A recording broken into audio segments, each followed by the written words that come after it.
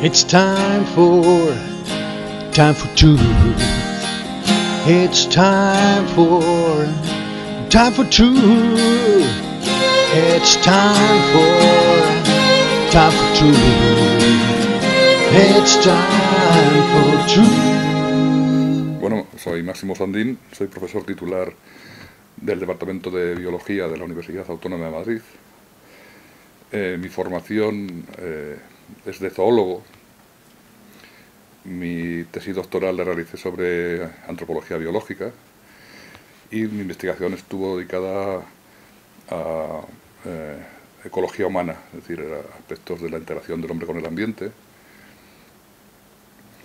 Eh, durante un tiempo me dediqué a trabajar en este campo. Eh, las publicaciones que tengo convencionales son todas de este tipo. Durante el tiempo se montó un equipo de investigación considerable en el que había 11 personas. He dirigido 12 tesis doctorales, pero a lo largo de, de mis clases, que daba de ecología humana y de origen y evolución del hombre, me encontré con una creciente cantidad de inconsistencias de la base teórica convencional, el darwinismo, como todo el mundo sabe.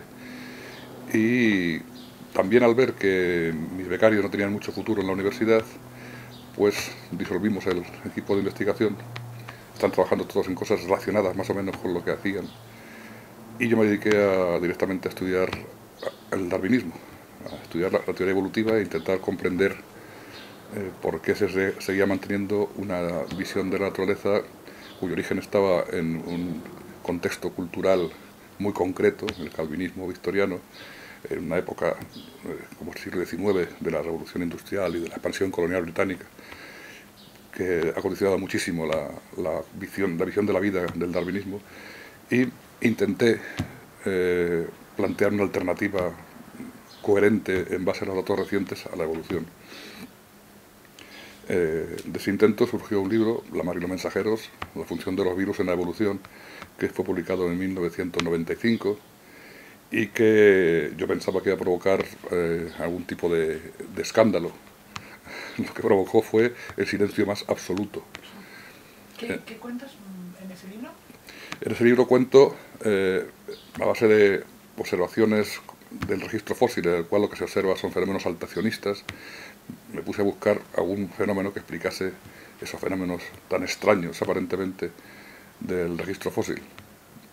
Eh, porque hay una cosa evidente, si la evolución fuera mediante pequeños cambios graduales y diminutos, como decía, Darwin y como dicen los darwinistas, en el registro fósil se habían encontrado muchísimos más ejemplares intermedios que ejemplares finales, es una cuestión de pura lógica, y lo que se encuentra son cambios bruscos de organización.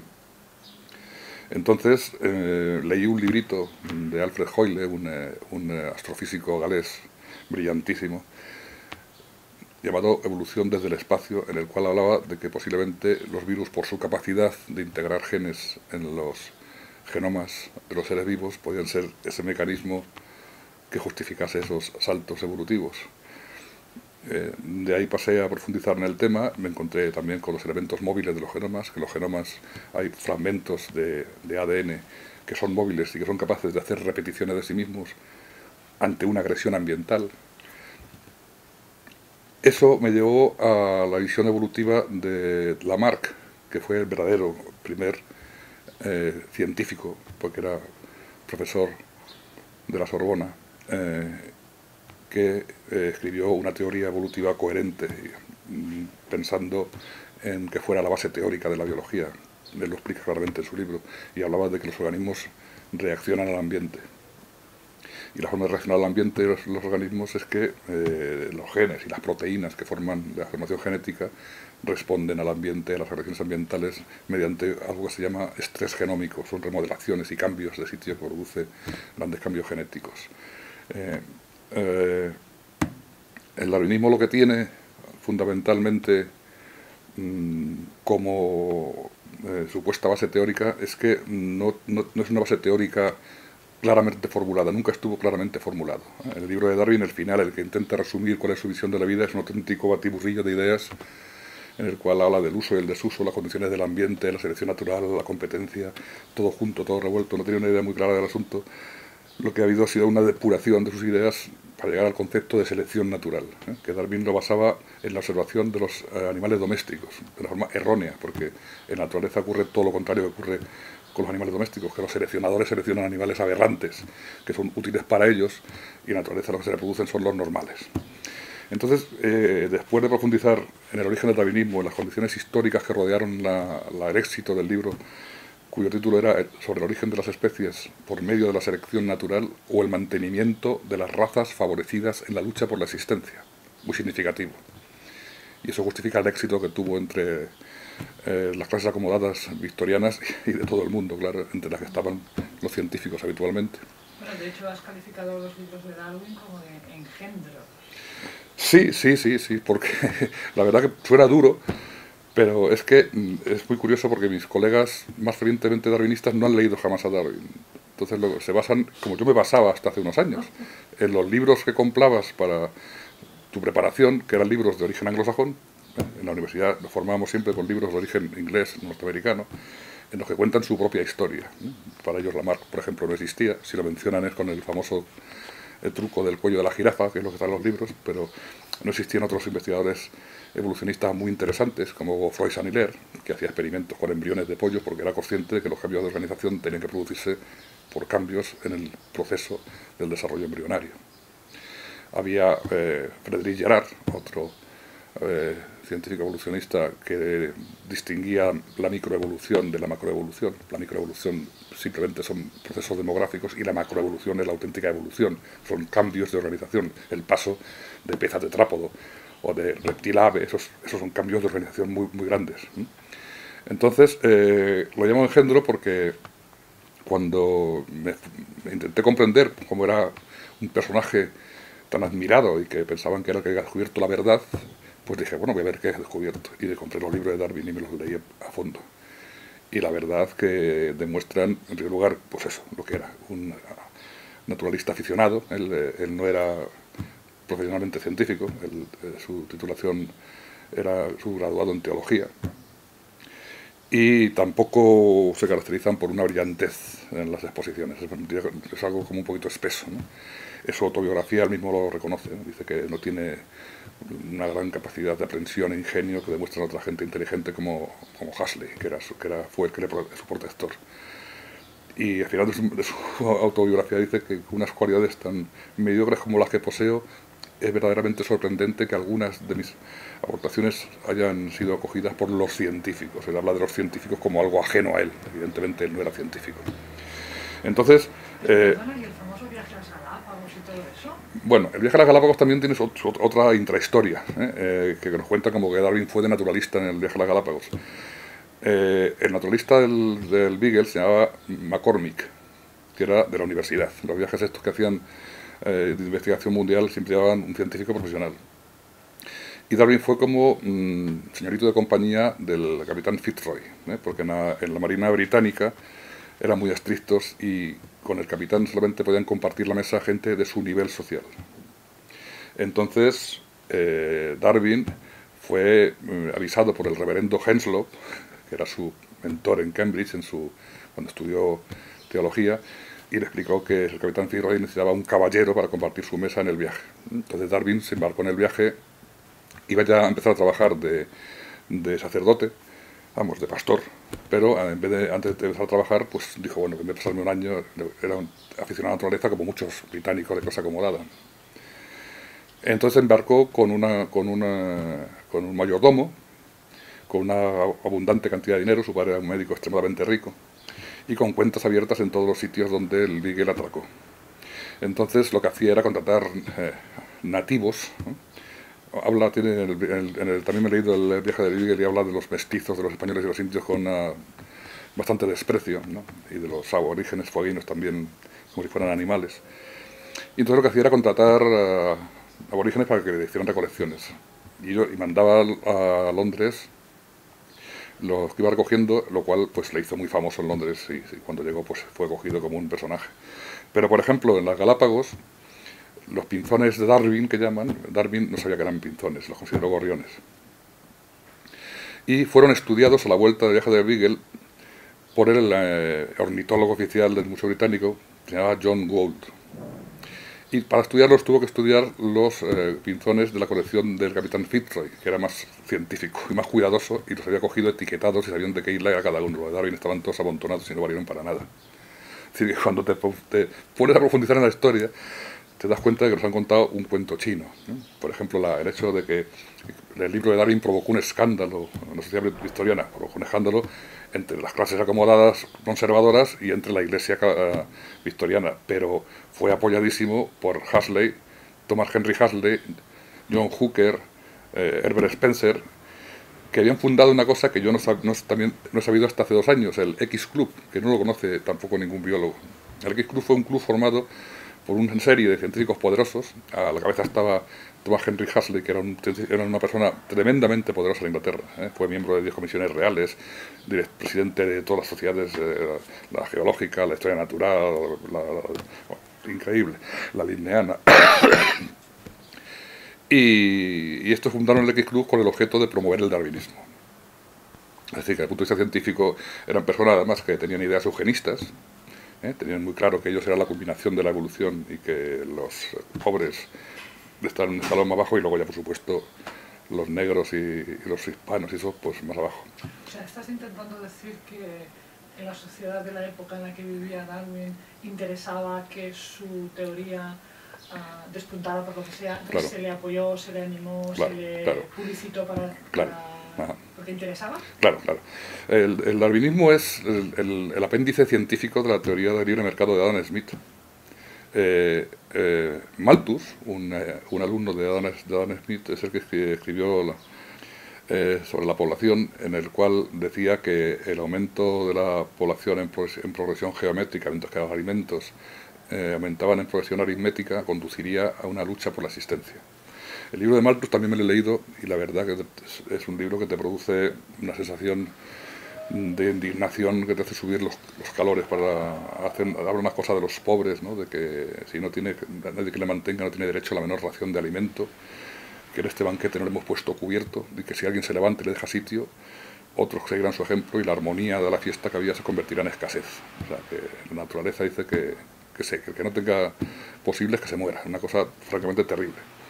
Y Darwin, eh, en, su, en, su, autobiografía, dice que leyendo el libro de Malthus fue cuando encontró una teoría sobre la que trabajar.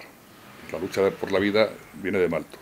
Y luego, de hecho, en el origen de las especies, dice que su teoría es la teoría de Malthus aplicada con multiplicada fuerza a los reinos animal y vegetal.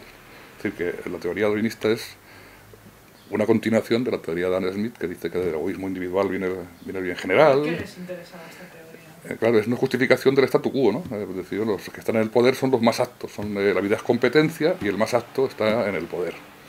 Entonces es, una visión de la vida, ¿no? Tiene también un componente muy divertido que explica por qué esta concepción religiosa del darwinismo, que, los darwinistas creen en Darwin y hablan de que Darwin trajo la verdad. Eso no es ningún invento mío, eso está en libros de prestigiosos darwinistas españoles y extranjeros, ¿eh? Darwin trajo la verdad. La cosa es la siguiente, en la época del libro de Darwin había una especie de, revolución burguesa en, Gran Bretaña, consecuencia de la revolución industrial, que había generado unas clases medias emergentes que iban adquiriendo un poder cada vez mayor, porque Inglaterra había estado a mano siempre pues, de la nobleza, los grandes terratenientes y la iglesia oficial, que como siempre, justificadora del orden social tradicional. Entonces, eh, el, la ocurrencia de Darwin de que la evolución era al azar, pues, según Huxley, eliminaba la necesidad de, Dios, porque la vida era al azar. Y entonces eso fue utilizado para luchar contra las ideas religiosas. De, hecho, Huxley habla de que la evolución pues, ha, eliminado las, eh, antiguas creencias de una creación especial y las ha sustituido por la fe más pura de la evolución. Entonces es una fe. Pero Darwin era teólogo.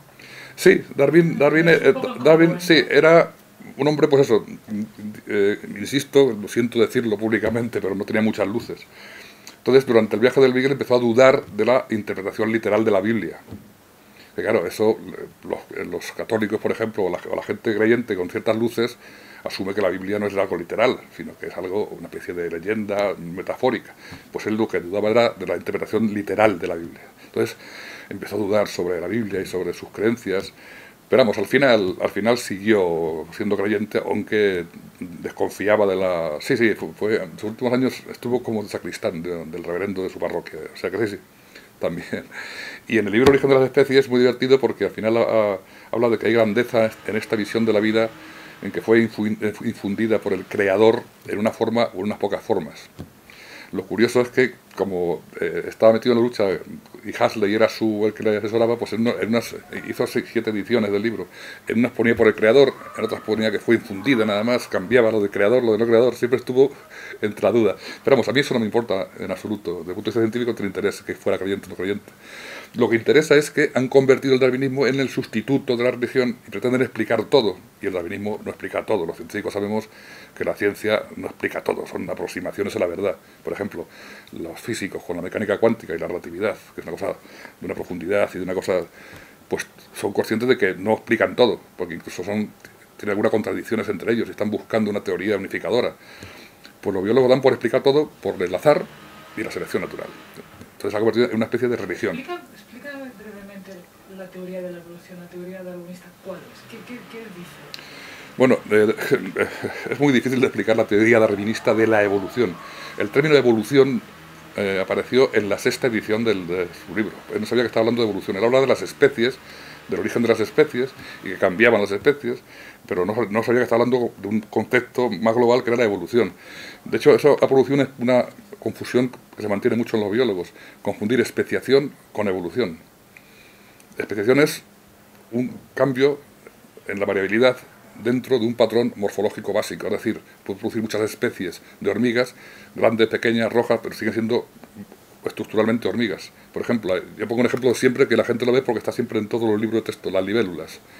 Aparecieron en el carbonífero y desde entonces han producido cientos de especiaciones de libélulas o miles, y siguen siendo libélulas. La expedición no es la evolución, la evolución son cambios de organización. El paso de tetrápodo a ave, o de pez a tetrápodo. Eso sí que son evolución, y son cambios muy grandes. Entonces, los estudios genéticos actuales ponen de manifiesto que lo que controla el desarrollo embrionario son redes muy complejas de genes, pero que son susceptibles de, reorganizar, de reorganizarse ante una agresión ambiental muy fuerte.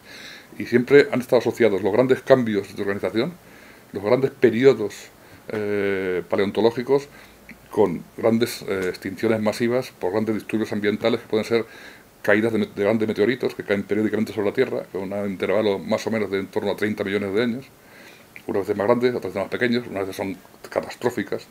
Por ejemplo, en el Pérmico se extinguieron hasta el 90% de las especies, una extinción terrible.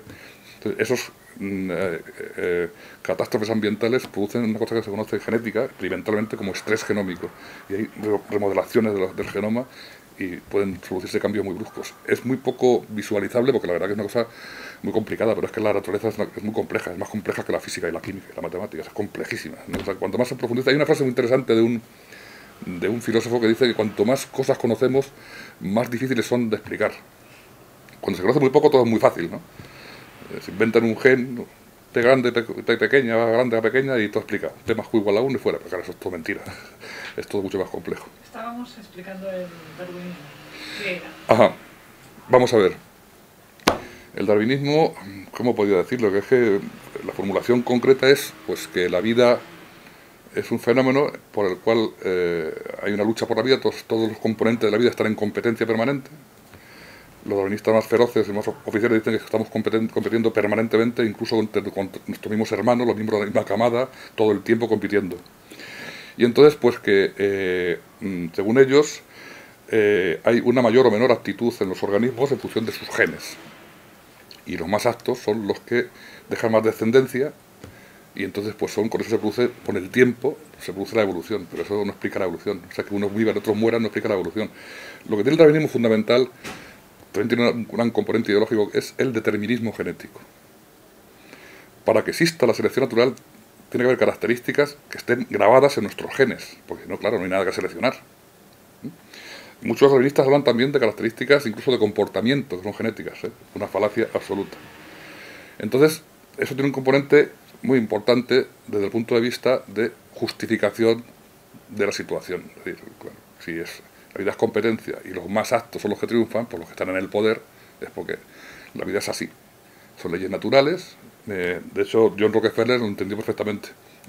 Dijo que el, mantenimiento de un gran negocio es simplemente una ley de la, es la supervivencia del más apto, que es una ley de naturaleza y una ley divina. Entonces, el determinismo genético del darwinismo lo que es es una justificación de la situación. ¿Estás diciendo que las fuerzas políticas y económicas uh, crearon la ciencia su imagen y semejanza? Bueno, eh, la ciencia actual está en manos de personas de un gran poder económico. Los grandes propietarios de los laboratorios farmacéuticos, de la industria de la biotecnología, de los transgénicos, pues siguen siendo, son los Rockefeller y los Rothschild y los Carnegie. efectivamente, ahí tiene un componente muy importante. O sea, el, eh, yo cuando, cuando empecé a, estudiar el darwinismo pensaba que era una, teoría científica obsoleta, anticuada y que había que mejorar. Luego ya me he dado cuenta que es imposible cambiarla, a pesar de que los datos que van saliendo contradicen todo eso, porque es una, forma de ver la vida, es una creencia que favorece mucho la situación tal como está, porque las justifica científicamente. En, a principios del siglo XX hubo un gran debate entre científicos de orientación lamarquista, de la que yo me declaro eh, seguidor porque fue el que fundó la biología, el que fundó la teoría de la evolución con sus limitaciones de su tiempo, pero la visión global de la naturaleza era, muy bella y era como es, ¿eh? por la cual decía que el ambiente influye en los organismos, una cosa por bastante de perogrullo, es decir, si un niño nace en un barrio chabolista, el ambiente lo más probable es que le lleve a acabar siendo un delincuente. Si nace en la calle Serrano, pues el, mismo niño puede ser un yuppie. Eh, es decir, que es el ambiente el que genera, modela, el ambiente modela la, formación del cerebro. El ambiente modela incluso el desarrollo embrionario. Es el ambiente, pero claro, eh, eso ya pues va en contra de la justificación de la situación, porque la justificación de la situación es que la vida es competencia y el más alto triunfa y los que están arriba pues son los mejores. De hecho, estos científicos, eh, estos por ejemplo, que son tan defensores del darwinismo, Claro, lo que hacen es decir, evidente que, los más altos están arriba. ¿Acaso no soy yo un ejemplo de que y de vez en cuando se trasluce en sus textos que intenta decir lógicamente, yo soy el más apto, soy el mejor, soy el número uno. Entonces es un problema de, de, que a los poderosos les intenta mantener esta visión de la vida, con lo cual es muy difícil cambiar. Estoy recibiendo continuamente artículos de gente brillantísima sobre, por ejemplo, estos elementos móviles y la evolución en el siglo XXI, de John Safiro, un genetista magnífico de Estados Unidos en el que habla de que hay que renovar la teoría de la evolución, pero es como, si no pasara nada. Es decir, eh, siguen con lo mismo, siguen con el darwinismo, siguen con la competencia, quieren matar a todo bicho viviente, todos competencia, todos son competidores, las bacterias son competidoras, los virus son competidores. O sea, que hoy en día la biología sigue basándose en el darwinismo. Pues sí, básicamente sí, a nivel, digamos, oficial sí, absolutamente. De hecho, no sé si se habrá dado cuenta del el año pasado lo que pasó con el, la celebración del año de Darwin pues fue algo que para los que no somos darwinistas, una auténtica tortura. Era permanentemente en los medios de comunicación los cuentos de siempre, las historias de siempre, los eh, historiadores oficiales diciendo que Darwin era un luchador por la justicia, que contra el racismo.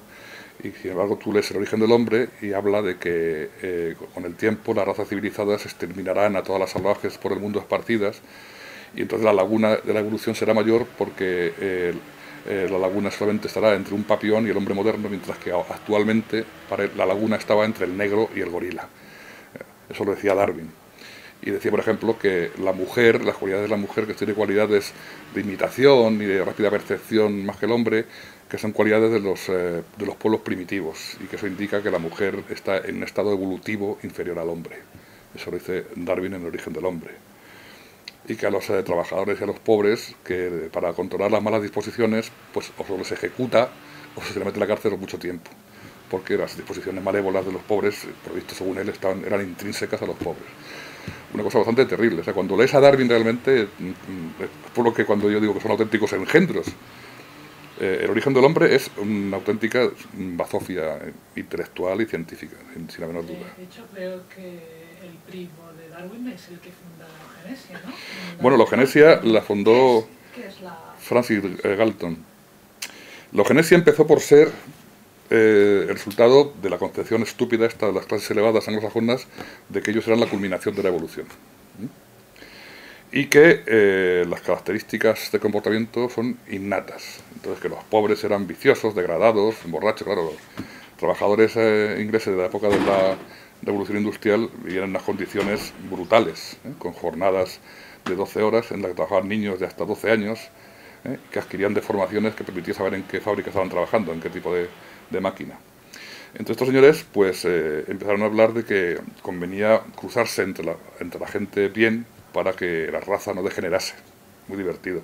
Escribió Galton un libro llamado El genio hereditario, en el que decía que los hijos de grandes hombres solían ser también grandes hombres, lo cual es una perogrullada, porque en Inglaterra en aquella época el hijo de un albañil era otro albañil, y el hijo de un lord era otro lord. Pero ellos son así, es, la forma de ver ellos, los darwinistas, la, la, realidad. Y entonces, pues la idea era que se cruzasen nada más entre gente eh, elevada, como, ellos decían. ¿Qué pasó? Que pues, se casaban con primas suyas, Darwin se casó con una prima, por cierto, que eh, una memoria suya muy interesante es en la que se ve cómo echa la cuenta de las rentas que la correspondían, porque su prima Emma Westwood era nieta de Josiah Westwood, que era el dueño de la fábrica de porcelanas Etruria, proveedora de la Real Casa, y era gente muy rica. Y antes de casarse, echó un cálculo de las rentas que le correspondían. Era muy, era muy práctico nuestro amigo Charles. Y entonces, pues eh, se empezaron a casar entre, entre primos, porque además eh, la Westwood era una Galton, eh, Galton se casó con una Darwin, y al final pues tenían hijos con problemas genéticos, tienen, tuvieron muchos hijos y algunos con graves problemas por, la endogamia. Entonces, eh, el siguiente presidente de la Sociedad Eugenésica fue Horace Darwin, hijo de Darwin, y fue el que introdujo la eugenesia negativa, es decir, la prohibición de reproducirse a los que consideraban ellos imperfectos una cosa bastante monstruosa. En la sociedad eugenética hay varios hijos de Darwin, eran eugenistas, y todos los eh, científicos creadores del invento de la genética de poblaciones, que es la única, mm, digamos, demostración empírica de la selección natural que tienen los darwinistas, que está hecha con, con números, un invento en la proporción de, cara y cruz en una manera de tirar al aire, porque pensaban que los genes estaban en los cromosomas como las cuentas de un collar y cada, como ya eh, eh, dos alelos, pues eh, era pues, dominante y recesivo y que eso ya explicaba la evolución. Resulta que, la, información genética, si quiere luego hablamos del tema, es mucho más complicada, mucho más compleja.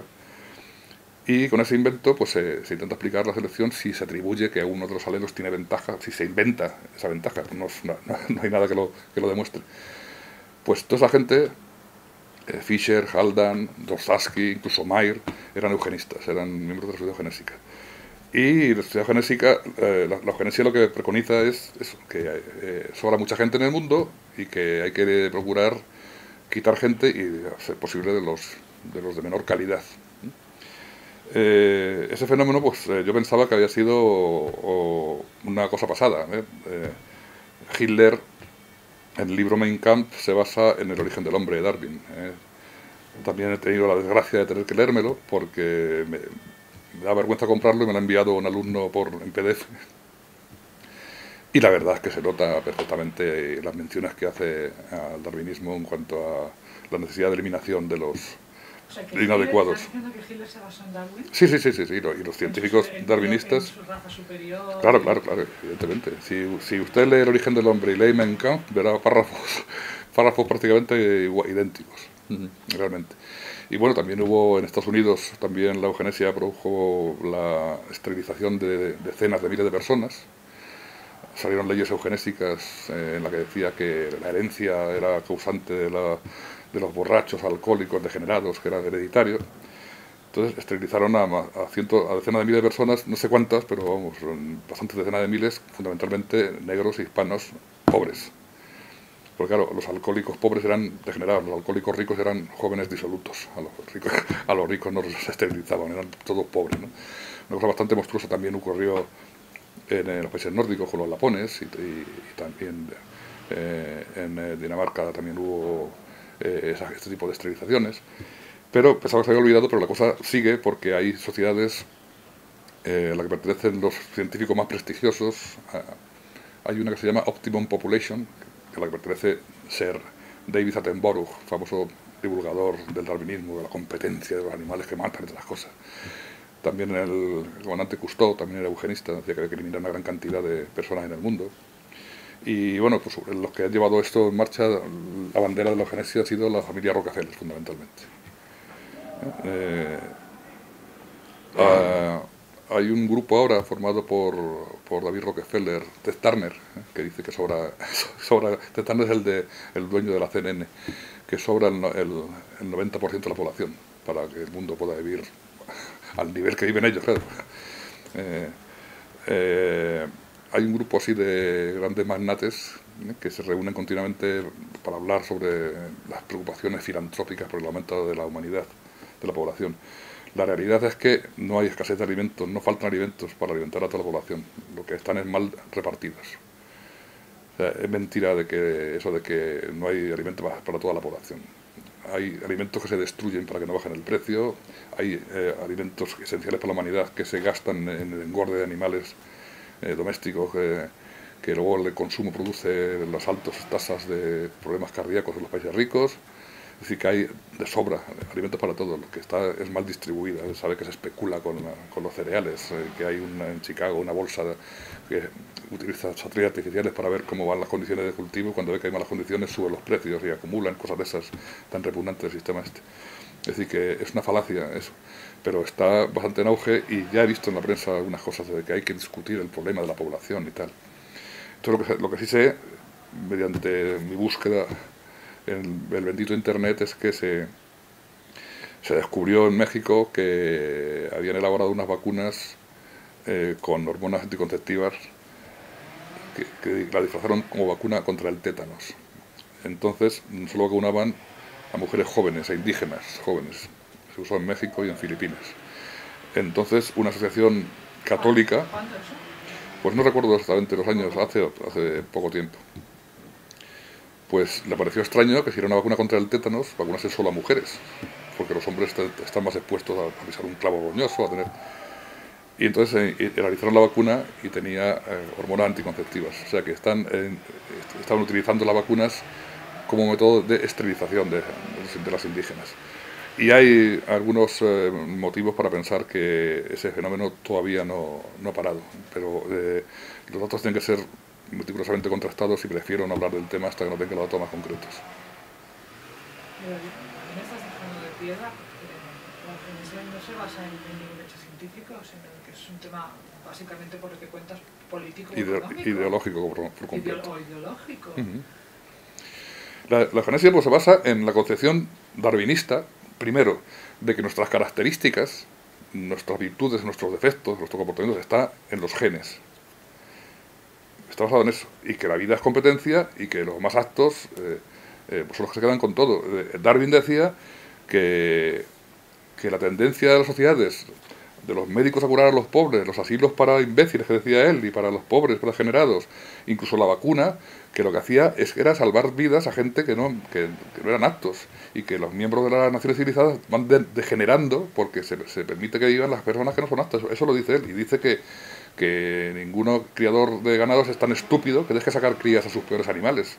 Eso lo dice Darwin en el origen del hombre, es decir, que no es ninguna cosa mmm, indirecta ni, ni, una interpretación. Es muy divertido porque cuando hablan del darwinismo social dice que es que Spencer se basó en Darwin.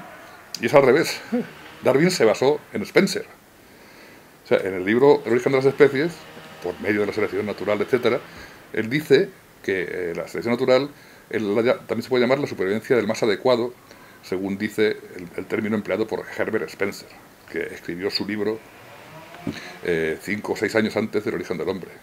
Es decir, que, es mentira que Spencer se basara en Darwin. Darwin se basaba en Spencer. El darwinismo social es puro darwinismo. Y tú eres el origen del hombre, pues ahí está explicado todo. De que los uh, salvajes pues, tienen que extinguirse y que los buenos y los pobres, pues, pues las malas disposiciones se, se, solucionan o ejecutándolos o metiéndose en la cárcel mucho tiempo. Pues es una serie de... Nos han contado una serie de historias, insisto, que como la gente no tiene tiempo de leer a Darwin, pues el libro es imbebible, ¿eh? es la verdad, es muy espesito, empieza con los animales domésticos y que las ovejas y los animales domésticos tienen las ovejas caídas porque se asustan menos que los salvajes y unas cosas terroríficas y, que pensando que buscar un, un, un, grupo concreto para investigar se dedicó a, la, las palomas y que enviaban pieles de la India y que unas cosas, y que se había hecho socio de Cruz de Paloma de Londres. Es un libro científico para aplicar la evolución. Es, absurdo, ¿no?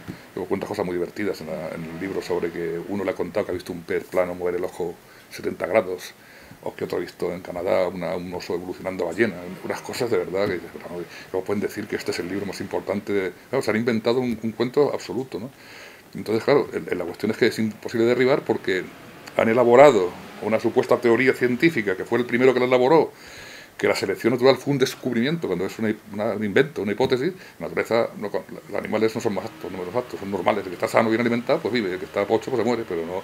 Y eso no, tiene nada que ver con la evolución, porque la evolución son fenómenos complejos de, organizaciones genómicas, y la información genética no es solamente los genes, sino es. Eh, o sea, el ADN, cuando en el ADN se ha encontrado el gen de tal, el ADN en estado libre, individual, es inerte, es una molécula inerte ¿eh? es un componente de un complejo eh, entramado de relaciones en la que hay falta ADN, ARN, proteínas, y entonces la información genética sobre todo la interacción de todo eso, y está influenciada por el ambiente. Hay una serie de factores eh, ambientales que modifican la expresión de los genes, sin cambiar los genes, por ejemplo, como fenómenos epigenéticos, fenómenos de modificaciones químicas de las, de proteínas que, que protegen el ADN. No quiero meterme en temas muy complejos, pero vamos, que está involucrado en fenómenos como el cáncer, fenómenos como cambios en los organismos de, eh, características sin cambiar su ADN. ¿eh? Hay fenómenos también como eh, el splicing, no sé, es un poco complicado, se llama splicing alternativo, es empalme alternativo. Los genes ha visto que no son secuencias concretas con un significado, sino que son fragmentos dispersos por el genoma. no tienen el contenido ni siquiera de una palabra, el gen de tal, sino son como si fueran sílabas. Y luego hay un fenómeno por el cual el conjunto del genoma combina esos, eh, esos eh, segmentos de genes para producir proteínas concretas. O sea, y una misma secuencia puede producir cientos de proteínas diferentes en función del tejido en el que esté, de las condiciones ambientales. Es decir, los datos recientes están demostrando que la visión de la naturaleza de Lamarck es la auténtica. La que la naturaleza es algo muy complicado, muy complejo en interacciones, hablaba del equilibrio que tiene que haber en armonía y tal y que el ambiente influía en los organismos. Pero claro, eso está en contradicción del determinismo genético que interesa mantener, que los, superiores son así porque sus genes son superiores y están en sus genes y cuando publican el gen de tal y el gen de cual, pues son secuencias que están implicadas en, enfermedades, pero que es muy curioso además cuando habla la visión del darwinismo de que las enfermedades están en los genes, son genes malos y entonces producen enfermedades. No, las enfermedades están en el ambiente y, y altera los genes la enfermedad, no es, no es, no es causa, sino consecuencia. Es decir, eh, estamos, la población moderna está sometida a cientos, a miles de sustancias químicas sintéticas con las cuales no ha estado en contacto anteriormente. Mm, es dificilísimo de controlar eso porque los efectos pueden ser, primero, a largo plazo, segundo, sinérgicos, de que una cosa sola no, pero dos se retroalimentan y producen una, una consecuencia. Por ejemplo, hay una sustancia que se ha visto que es terrorífica, que son los órganos fosforados, que son sustancias que se utilizan en los jardines, en las casas para, como abonos sintéticos. Bueno, pues hay relación de enfermedades como la esclerosis lateral, lateral amniotrófica con los órganos fosforados. Es decir, eh, comemos cosas de grandes mercados, supermercados, que no sabemos dónde vienen y que han estado fumigadas con montones de cosas. El glifosato que emplean para transgénicos es súper tóxico, se ha visto. Estamos sometidos a radiaciones electromagnéticas, a radiaciones de rayos X, es decir, eh, es falso que la enfermedad sea un fenómeno que esté en los genes que sean genes malos. Después de producirse esa alteración, se ve que hay genes alterados, pero no porque sean malos en sí, ni hayan mutado al azar, sino como respuesta al ambiente. Entonces, eh, el tema está en que la visión reduccionista que nos, han, metido, pues es una auténtica falacia. Pero claro, ¿quiénes son los que más dinero tienen en el mundo? Por la industria farmacéutica, la industria de tecnología, y ellos los cambios de genes para los pues es fundamental mantener la visión del gen de tal y el gen de cual. ¿Qué pasa? Cuando metes una secuencia génica de un organismo a otro, el resultado es totalmente diferente a lo que esperaban, porque una misma secuencia en un, organismo diferente tiene una expresión diferente. Y además hay un montón de interacciones y no se puede controlar. O sea que yo estoy convencido de que jamás se podrá controlar porque depende de tantos condicionamientos, y entre ellos muchos ambientales, que no hay control real de ese tipo de manipulaciones. De hecho, que has dicho que, que, la primera gran catástrofe de la historia de la biología fue el libro de Darwin y que la segunda gran catástrofe fue el libro El gen egoísta de Richard Darwin. Dawkins. Sí. ¿Qué bueno, este Sí, bueno, eh, lo de la primera gran, catástrofe de la historia de la biología lo digo porque eh, cuando me he puesto a investigar sobre cómo iba la biología hasta que llegó el darwinismo, gracias, no quiero mencionar mucho a la gente, pero un historiador de la ciencia fantástico, eh, del CSIC español, que se, dedica a investigar en las universidades, en las bibliotecas, en los museos, y me empezó a, enseñar científicos franceses y alemanes que estudiaban la evolución eh, eh, un siglo antes que Darwin y, 50 años antes que Darwin, y que decían cosas que mencioné anteriormente, que, si se hubiera contenido por ese camino había avanzado mucho la biología, pues llegar esto con la visión demencial maltusiana, el, apéndice científico de la economía de mercado, el egoísmo, el de competencia, el más apto, el menos apto, que provocó una catástrofe. porque ahora tú ves, yo veo revistas científicas de alto nivel y, pienso, la biología está muerta, están dando, mareando el gen de tal y el gen de cual, y esto servirá para tal, y esto servirá para terapia génica. Esto. dice, pero por favor, si lo que hay que hacer es intentar entender toda la cantidad enorme de información que hay, que hay algunas revistas científicas generalistas que te, te enseñan cosas y dices, qué maravilla. Pero siempre dicen, ¿y esto para qué vale? Pues vale para pararse, para, comprenderlo y para intentar, cuando comprendamos las cosas, veremos si se puede manipular. Pero manipular cosas sin comprenderlas es un peligro. Entonces, son catastróficos. Entonces, la segunda gran catástrofe fue el invento del señor Dawkins, que dijo que, los genes eran por naturaleza egoístas. Cuando ya, cuando ya se sabía entonces, sabía que una molécula de ADN en sí misma no es nada, es inerte y que los genes competían unos por otros y que luego eh, que apareció un gen y que luego se creó una membrana él por su cuenta y competía con otros genes. Ya empezaron a competir en el agua, unas moléculas compitiendo, una cosa demencial. Y que... Este señor era científico. Era zoólogo, sí, pero era sobre todo mm, darwinista. Entonces, eh, sintetizando, según Dawkins, la unidad de evolución es el gen o ADN, que compite, que es egoísta y compite con otros genes. Y que del egoísmo del gen pues se produce la naturaleza. Entonces, si tú lees Adam Smith, dice, del egoísmo del carnicero o cervecero es el que surge nuestro alimento y surge la sociedad. Es decir, es directamente, literalmente, la traslación de la teoría libre mercado de Adam Smith, del egoísmo del carnicero la sociedad, al egoísmo del gen naturaleza. Una cosa delirante. Entonces, ¿qué pasa? Pues que eh, cuando se ha encontrado que los genomas tenía una gran cantidad de ADN, que eran secuencias repetidas y que, eh, que no eran codificantes de proteínas, pues se pensó, si los, genetistas, siguiendo a Dawkins, que eso era ADN egoísta y que se expandía y que estaba allí, que era ADN basura. ¿eh? Yo he oído a científicos españoles muy prestigiosos de que si conseguíamos limpiar los genomas de basura, conseguiríamos vivir 200 años. Lo cual es una estupidez, porque si no limpiar los genomas de eso, nos habíamos muerto enseguida, porque se ha descubierto que es la parte fundamental de los genomas. Que en el genoma, la fracción codificante de proteínas es el 1,5% de los, de los genes. 1,5%. Lo que secuenciaron cuando dijeron hemos secuenciado el genoma humano era el 1,5% de los genes, que son los genes codificantes de proteínas. Por eso cuando dicen el ratón y el hombre comparten el 90% de los genes y compartimos el 40% con Arabidopsis, que es una planta de cuneta, una planta. Tiene el 40% de los genes igual que el hombre. Pero claro, es que eso no es lo que es la información, la información es lo que hace el conjunto, el resto, el 98,5% que es el que coordina y hace los empalmes, el spacing alternativo, están los, los intrones que coordinan el, el, spacing alternativo, lo que, lo que da expresión a los genes es el conjunto que habían considerado basura y que quedó sin estudiar porque según ellos era basura. Y ahora cuando han descubierto esto, tengo un artículo de un tío muy interesante diciendo que era el efecto del, de Dawkins ha sido nefasto porque ha sido un efecto de obstaculizar la profundización de conocimiento porque ha hecho que la parte fundamental de los genomas ha estado sin estudiar porque según él era basura. Entonces, por eso considero una catástrofe, ¿no? Porque lo que transmite a la gente joven, además es eso, ¿no? De que la vida es competencia, que somos egoístas. En el libro este dice que los hijos, los genes de los hijos compiten con los genes de los padres para ser más astutos que ellos. Y que al igual que los prósperos gásteres de Chicago, nuestros genes han sobrevivido en un mundo altamente competitivo. Y que la, cualidad que cabe esperar de los genes es que sean egoístas. Y eso, ¿Qué, es un, eh, gen? Eh, un gen? Pues, nadie, ahora no se sabe. Los darwinistas, los, darwinistas lo sabían. hablando media hora de genes y sí, sí. No, se los, no, no, los darwinistas lo sabían. Los darwinistas sabían lo que era un gen. Era una secuencia de ADN que producía un carácter.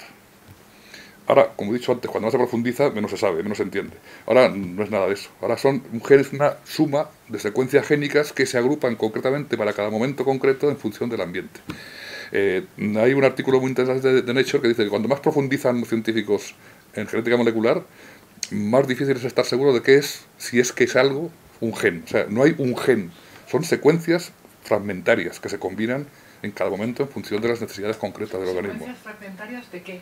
De ADN.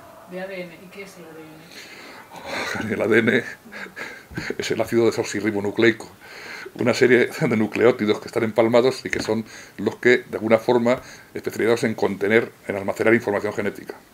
¿Sería donde está almacenada la información del lo que somos?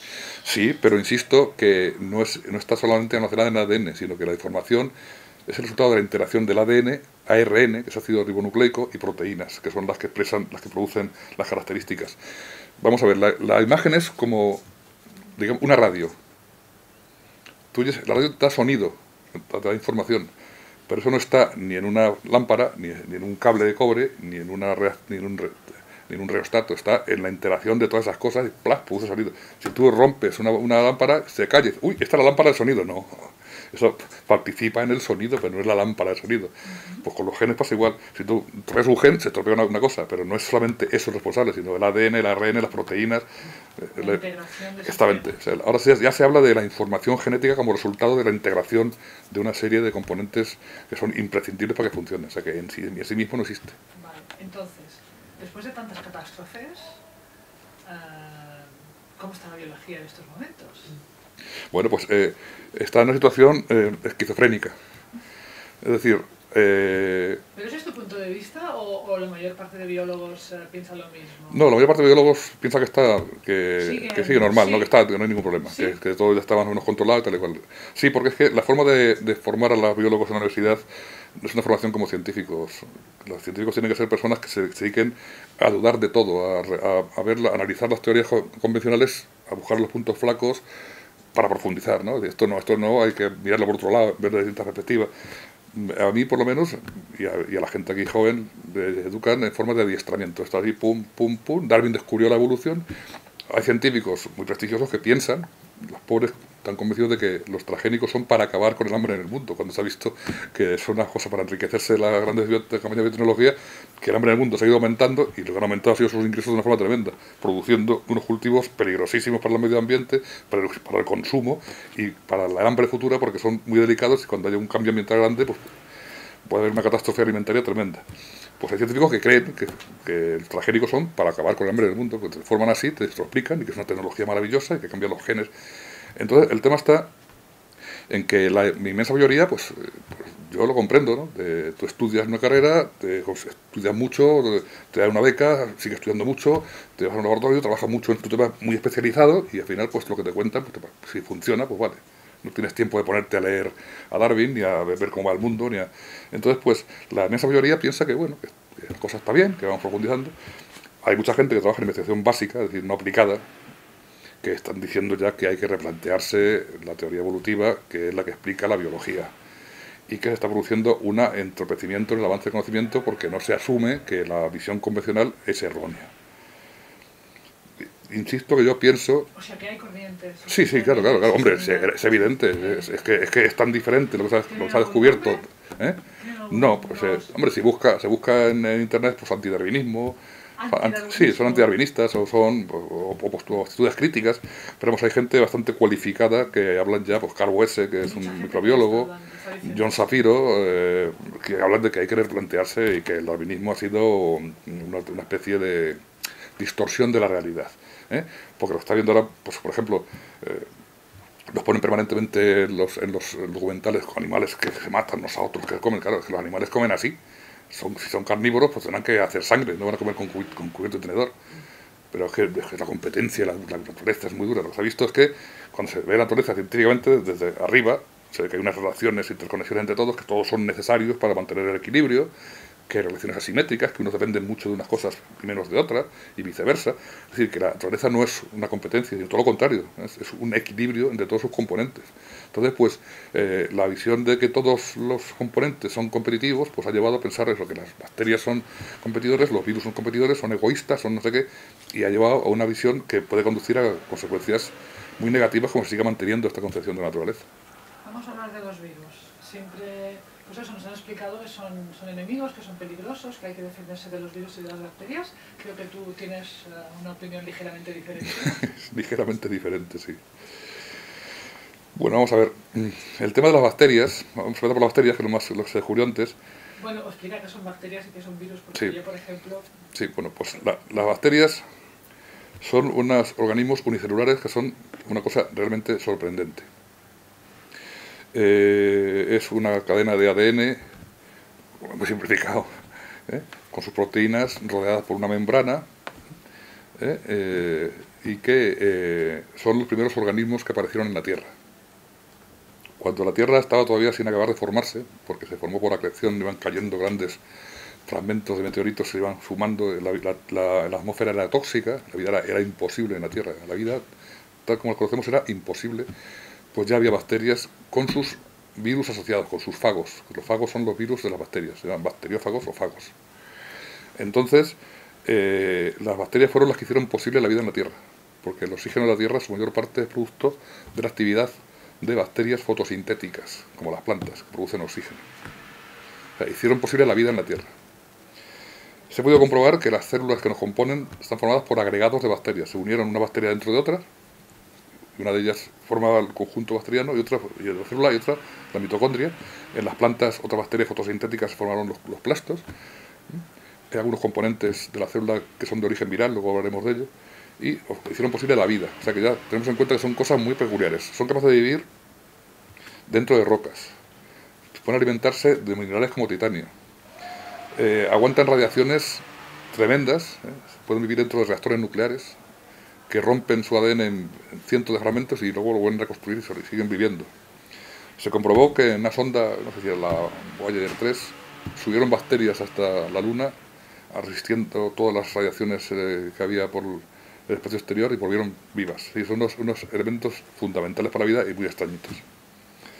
Entonces, eh, cuando se descubrieron, se descubrieron porque son capaces de provocar enfermedades, infecciones. Hasta, hasta que se descubrieron, pues no se sabía que existían las bacterias. Y se descubrieron porque provocaban infecciones. Ahora ya sabemos que las bacterias en conjunto no son patógenas, sino son elementos fundamentales para la vida. ¿Qué quiere decir patógenas? Patógenas que producen enfermedades. Las bacterias, el número calculado en la Tierra es, se ha calculado que es de 10.000 millones de veces más que el número de estrellas calculadas en el universo. vivimos en un eh, montón de sobre las bacterias en el suelo, en, tierra, en un gramo de tierra, eh, hay 4 millones de bacterias, en un gramo de tierra. Y en una gota de, agua de mar hay un millón de bacterias.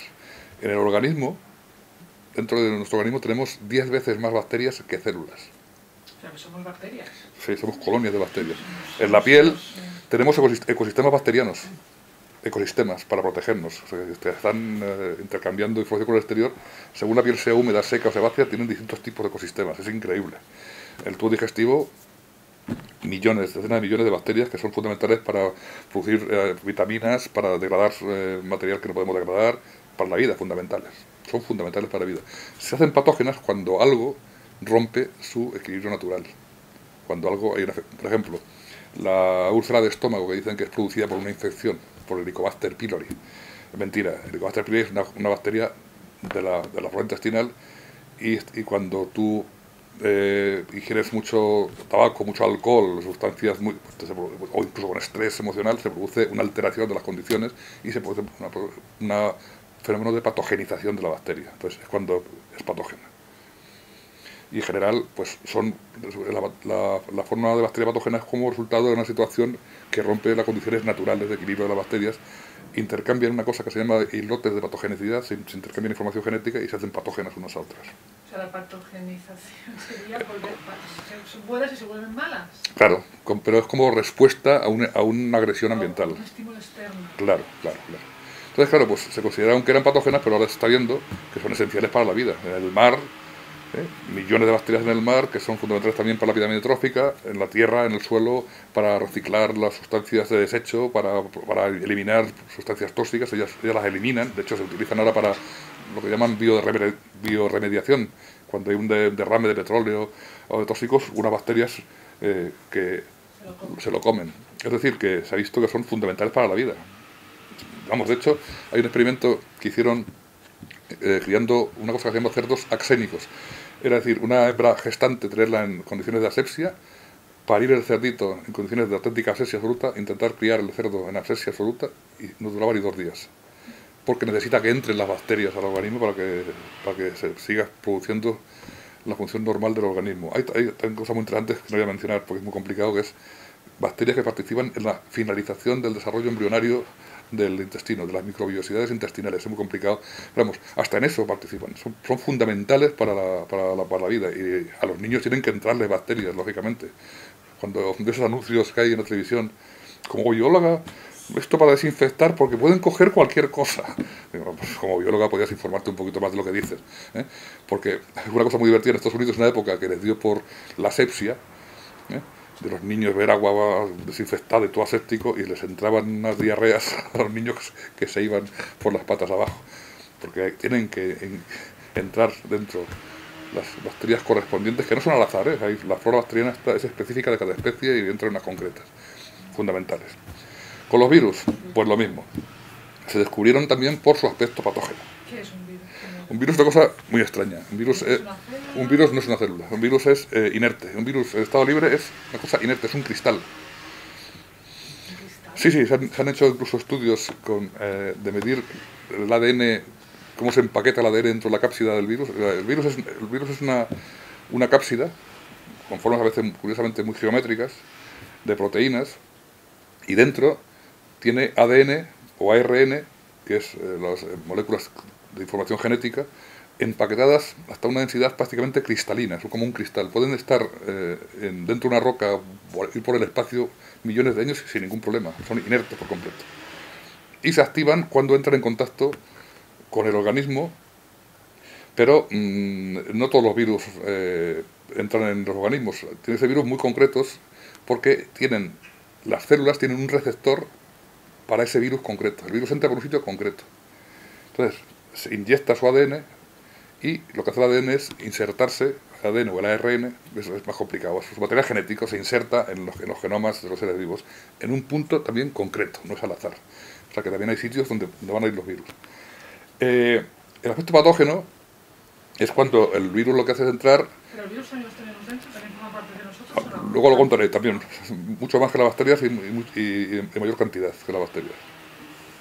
Entonces, eh, el aspecto patógeno es cuando los virus lo que hace es, cuando hay un desequilibrio ambiental, eh, o el organismo está en desequilibrio, pues eh, siguen reproduciéndose los virus, usan los materiales de la célula para, para, reproducirse los virus, para fabricar, ellos mismos fabrican más virus, y al final, claro, matan la célula y pues una enfermedad. Pero eso se pensaba que era el aspecto de los que los virus eran patógenos que hacían eso. Cuando se ha podido estudiar genéticamente y a fondo la cosa, se ha visto lo siguiente. Esa capacidad que he dicho antes de insertarse en los genomas es la que hace que en los genomas de los seres vivos tengamos una enorme cantidad de lo que se llama virus endógenos. El, ADN de los virus, ¿eh? integrado, insertado en los cromosomas. Forma parte de nuestros cromosomas, de nuestro ADN. Eh, el 10% de los genes humanos son virus endógenos retrovirus endógenos, el 10%. Cientos de miles. Luego hay fragmentos de virus también dispersos por el genoma. Es decir, que los genomas de los seres vivos son... Eh, es complicado de decirlo porque habría que visualizarlo. Espero poder disponer de alguna forma de visualizarlo. En la parte esta del ADN que decían Dawkins que era basura son secuencias repetidas, intrones, elementos móviles, que son de origen de virus endógeno. Entonces, si echas cuentas, los genes que no son de origen bacteriano, de las primeras bacterias son de origen viral. Una cosa muy curiosa. Si se analiza con calma, se llega a esa, conclusión. Es decir, que los virus son otros componentes fundamentales de los genomas. Tienen la capacidad de que sus elementos móviles, que son derivados de virus, cuando el ambiente se eh, produce un estrés, se hacen saltos de un sitio para otro o se duplican y aumentan los genomas. O sea que son los, que fabrican los genomas. Y también es curioso también que eh, en aguas marinas también se han encontrado estudios recientes que demuestran que en aguas marinas superficiales hay hasta 10.000 millones de virus por litro. O sea, cuando usted está eh, en la Costa Brava vendiéndose tan feliz, está en una auténtica sopa de virus y de bacterias. Por favor. Eh, Suena fatal. Pues esos virus son esenciales para la vida. son los que controlan la base de la pirámide trófica del marina. De la siguiente manera, como las bacterias y el fitoplancton y el zooplancton tienen una capacidad de crecimiento tremenda, si tienen alimentos se, van a estar, se seguirían expandiendo continuamente y llegaría un momento que, el agua del mar estaría tapada por una manta de bacterias, de zooplancton y fitoplancton, lo que, lo que haría era impedir que la luz entrara para abajo y mataría la vida del fondo. Entonces los virus marinos lo que hacen es cuando hay demasiada densidad empiezan a destruir bacterias y zooplancton y fitoplancton.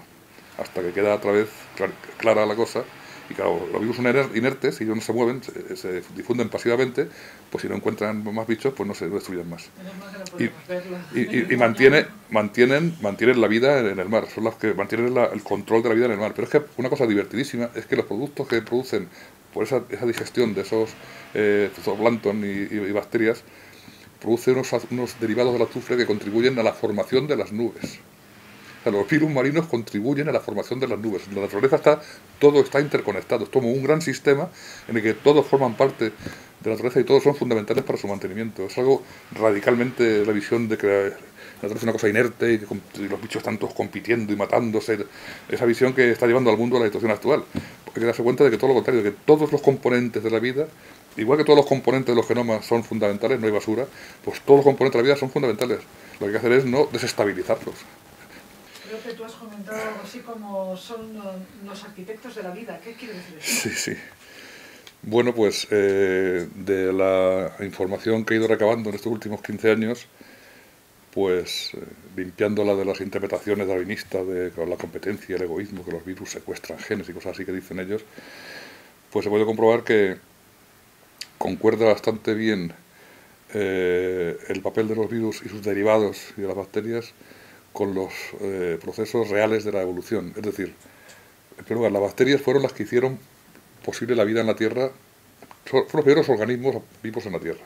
Su aparición es tan repentina que se está empezando a investigar la posibilidad de que vengan del espacio. Es decir, que la vida sea un fenómeno inherente al universo y que de alguna forma germine allá donde las condiciones sean favorables. La idea de la vida como aparición única en la Tierra, al azar, y gradualmente es absurda. Tiene un componente, digamos, no sé, de un eh, etnocentrismo o de un egocentrismo paleto, ¿no? un universo tan gigantesco que pensar que solamente hay vida en la Tierra es bastante estúpido. Eh, entonces las bacterias pueden formarse, formar esporas y viajar por el universo y se ha comprobado incluso que bacterias normales pueden subir y bajar en una cápsula espacial y volver indemnes si tienes en cuenta sus capacidades tan especiales que tienen para alimentarse de, metales, de sustancias tóxicas, vivir en fuentes hidrotermales, vivir en, ah, dentro de las rocas, es decir, que son unas cosas muy especiales y tienen, dan esa sensación ¿no? de que están como muy preparadas para generar vida. Luego además generaron vida, porque fueron las que hicieron la célula cariota. Entonces, los, los virólogos hablan ya de que los, los virus estaban ya junto con las bacterias. Eh, de hecho, el, núcleo de las células eucariotas, las células que componen a los seres vivos eh, multicelulares, hay una parte de características de los cromosomas que no son de origen bacteriano, son de origen viral. Se ha visto que los telómeros, la parte final de los cromosomas, son de origen viral. La separación de la transcripción de la traslación, que la bacteria es directa y los eucariotes es, indirecta, pues de origen también viral. Es decir, que hay datos que hacen más posible que también fueron mm, los colaboradores en la formación de la célula. Luego, eh, hay una. Cuando miras el, genoma humano, eh, si tienes en cuenta que eh, hay una parte de genes que son de origen bacteriano, resultado de que el origen de las células es de origen bacteriano. Se han identificado qué genes son, además, uno de metabolismo y los del control de la información genética son de bacterias. Hay un 45% de elementos móviles, en el genoma codificante de proteínas, que de origen son los transposones y los transposones son de origen viral. Un 10% de origen son virus endógenos completos. Hay montones de fragmentos de, virus repartidos por el genoma que se pueden encontrar, pues las LTR, las, las, secuencias terminales de los virus endógenos, son eh, elementos reguladores de la expresión génica. Y luego al mirar lo que decían ADN basura, que era elementos móviles, eh, intrones, eh, Line y Cine, que son secuencias repetidas, pues son también de, son también de origen viral. Rastreando su morfología se ve que son de origen viral que han ido perdiendo eh, genes. Es decir, que, los genomas eh, de los seres vivos son una suma de genomas bacterianos y virales. ¿Cuál es la, la relación de esto con la evolución? Vamos a ver. Los genes que controlan el desarrollo embrionario, la morfología de los organismos, se llaman genes homeóticos o genes Hox con genes y proteínas, porque la información genética no está solamente en los genes. ¿Eh? He dicho antes que es resultado de interacción de genes y proteínas. También hay muchas proteínas de la célula que son de origen viral. Hay muchas eh, eh, glicosiltransferasas, los priones, sincitinas, Bueno, eh, es más información al respecto. ¿Cómo cuadra todo esto con la evolución? Pues eh, los grandes cambios de organización animal que se ha visto a lo largo de, la, evolución de los seres vivos están asociados con grandes disturbios ambientales. ¿eh? Se puede asociar ya cada vez con más claridad cada cambio de un periodo a otro. los nombres de los periodos, de los grandes periodos geológicos se daban debido a que encontraban diferentes faunas en los estratos en los que estaban los fósiles. Carbonífero, Cretácico, Jurásico, eh, eran faunas diferentes. Estos periodos están separados por eh, grandes catástrofes ambientales, fundamentalmente, como he dicho antes, producidas por caída de grandes asteroides. También ha habido en casos de inversiones de los polos magnéticos terrestres, que figuran, se pueden detectar en, el hierro de los estratos fósiles. Estas inversiones de los polos eh, magnéticos lo que hace es que deja durante un tiempo la Tierra sin, la protección magnética contra las radiaciones del, Sol, que son muy dañinas para los genomas. Se sabe experimentalmente que cuando sometes a los genomas a radiaciones se produce una cosa que se conoce como estrés genómico, y hay saltos y cambios eh, de los elementos móviles. También se ha visto que los cambios de elementos móviles no van a cualquier sitio, sino que hay una cosa que llaman los científicos hotspots, puntos calientes, donde tienden a ir. O sea que la variabilidad que se produce está más o menos controlada por, por el proceso del, organismo. Y esto se asocia con apariciones bruscas de nuevas morfologías, que es una cosa que insisto que es muy extraña, de pensar que en una generación puede haber un cambio de organización, pero desde el punto de vista biológico es la única forma posible de que se produzca el cambio de organización, porque la organización animal y vegetal se produce durante el desarrollo embrionario y para que haya un cambio de organización tiene que haber en un momento del desarrollo pues tirar para un lado para un ave o tirar para, para un mamífero es decir que son cambios eh, a nivel embrionario y solamente puede producirse en una generación ya hay estudios aquí aquí aquí lo cuentan ¿eh? en el artículo este de elementos móviles y la evolución del siglo XXI habla que hay que replantearse el tema del darwinismo y que lo que se puede observar la, lo que la huella que en los genomas es de cambios en una sola generación y esto explicaría lo que se ve en el registro fósil, que son cambios muy bruscos. Cuando se extinguieron los dinosaurios aparecieron los mamíferos de una forma tremendamente rápida. ¿eh? Entonces, eh, a lo que nos lleva esto es a darnos cuenta de que los virus eh, no solamente no son patógenos, ya hemos hablado del número de bacterias que había en la tierra, en el mar, en el interior, pues los virus hay de 5 o 25 veces más que bacterias. Se ha visto que los virus que están encontrándose en la tierra en cifras astronómicas, en, un miligramo de tierra, de orden de, no sé si era un gramo o un miligramo, no, estoy seguro, pero 500 millones de virus, una cosa es como una especie de sopa de virus y bacterias. Pues los genes que están encontrando los virus que hay en la tierra y en el mar, el 80% de los genes que se han encontrado no tienen ninguna, ningún parecido con ninguno de los genes encontrados en ningún tipo de organismo. Es decir, son genes diferentes, nuevos, que quizá tengan su función actual y quizá para el futuro también estén esperando su oportunidad cuando sea necesario el, siguiente salto, que es posible que se produzca a raíz de alguna catástrofe que sea tan estresante que produzca la reacción de los organismos. Y eso tiene relación con la forma en que se plantea la lucha contra los virus actuales, que es una cosa absolutamente demencial. ¿eh? Y viene a cuento con el tema que habíamos hablado de las vacunas. Eh, vamos a ver, esto quizás suene muy heterodoxo, pero no, soy yo solamente el que lo dice. ¿eh? Yo no procuro no meterme en temas de salud mucho porque yo soy biólogo y yo hablo de cosas, digamos, teóricas que si se aceptan bien y si no, pues no pasa nada. Pero si ya te metes en temas de salud, por la cosa más comprometida. Pero mm, me siento obligado a transmitir lo que yo he pensado al respecto. El virus de la gripe es un virus endógeno más, es como el virus del herpes. El herpes tienes un estrés emocional y te sale una calentura, un herpes. Es un virus que tiene sus otras funciones. el de la gripe es un virus que produce una especie de caída de, las funciones del organismo como una especie de, de, reacción ante un estrés muy fuerte o ante una situación delicada. Hace poco ha salido con mucho bombo en las noticias la llamada gripe del Yupi o la gripe del Ejecutivo, que dice que cuando están todas las semanas sometidos a estrés y llega el fin de semana, se relaja el estrés y cuando eh, se relaja el estrés se relaja el sistema inmunitario. cuando hay estrés, el sistema inmunitario se, se activa para hacer defensa a una agresión ambiental. Entonces, cuando se relaja el sistema inmunitario, cogen la gripe, sin que nadie les contagie. Cogen una gripe. Entonces, eh, claro, si has asociado un virus a la gripe, pues ya dice, pues a matar el virus si matamos la gripe. La visión, insisto, reduccionista y competitiva de que hay que matar a todo bicho viviente del darwinismo. Eh, ¿Qué pasa con los virus de la gripe que, estacionalmente aparecen? Cuando te enteras de que el, virus H5N1 es un virus que es híbrido de ave y de, hombre, y de hombre, pues te resulta sorprendente porque los virus normalmente no se hibridan en la naturaleza.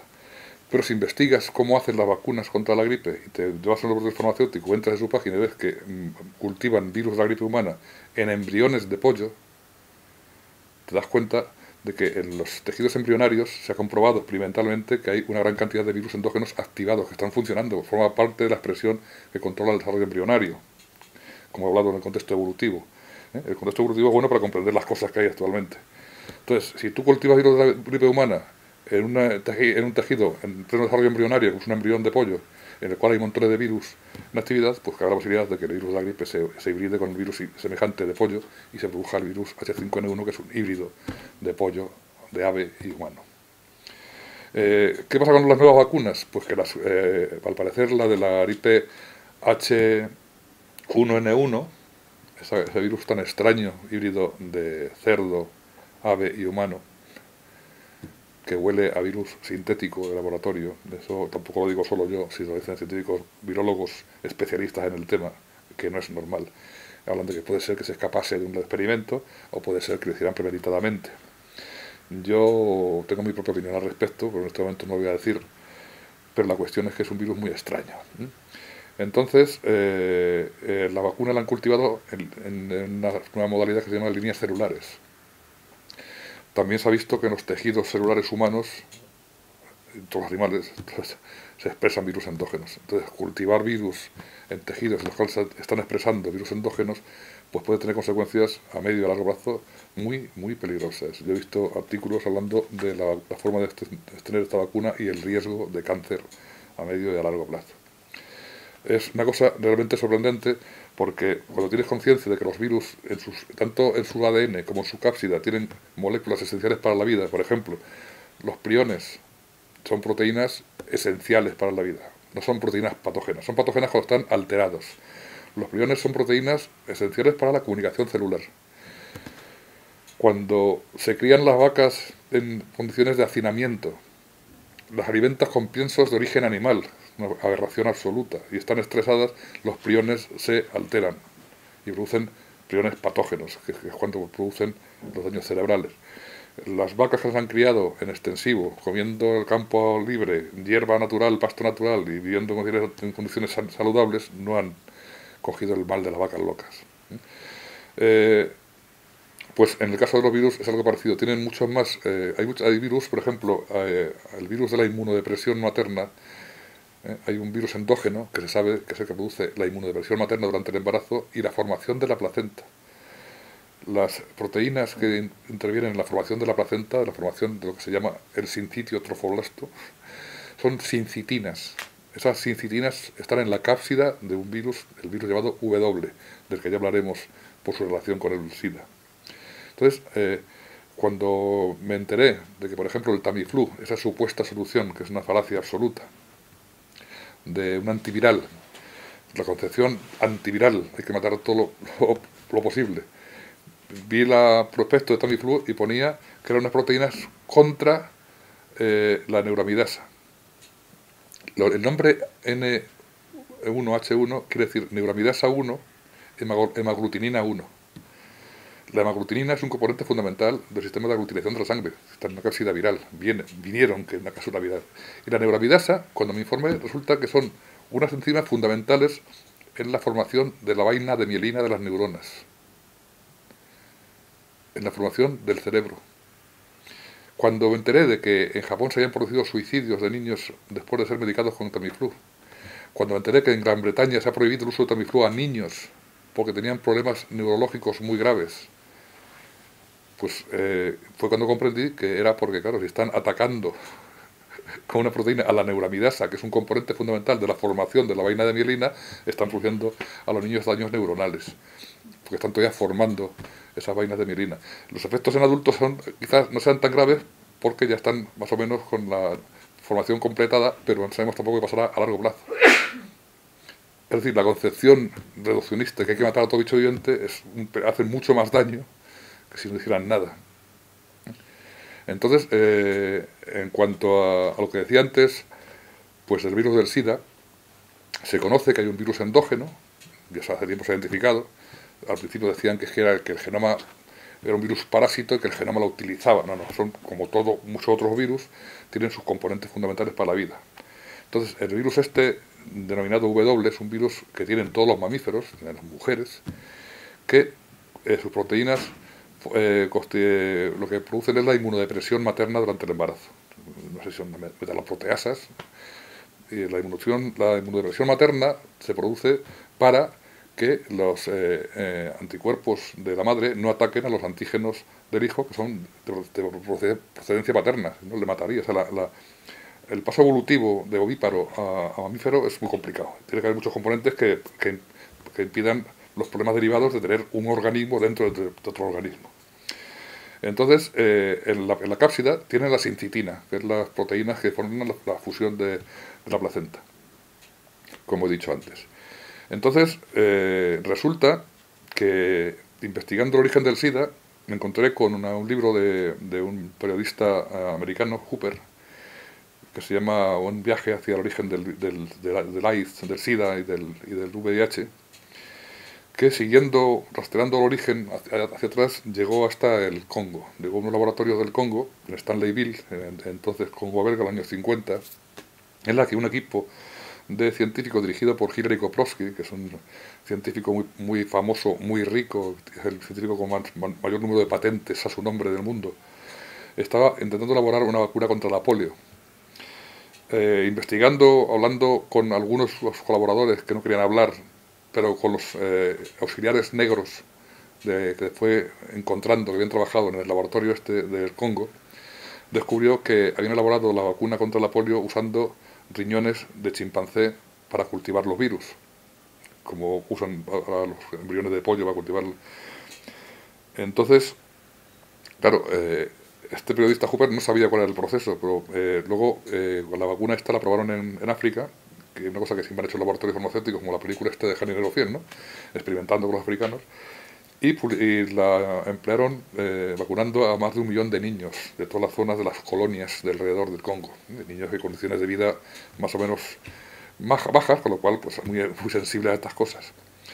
Resulta que la explicación razonable de esto es que el virus del SIDA lo que produce es inmunodepresión. Y claro, eh, si buscas que se hizo la vacuna usando, mezclando virus endógenos, virus endógenos humanos con virus endógenos de, mono, y se resulta que el virus de SIDA es un virus híbrido de chimpancé y hombre, la conclusión es que se hibridaron los virus y ha producido un virus patógeno, que lo que produce es la inmunodepresión, que lo que produce el SIDA.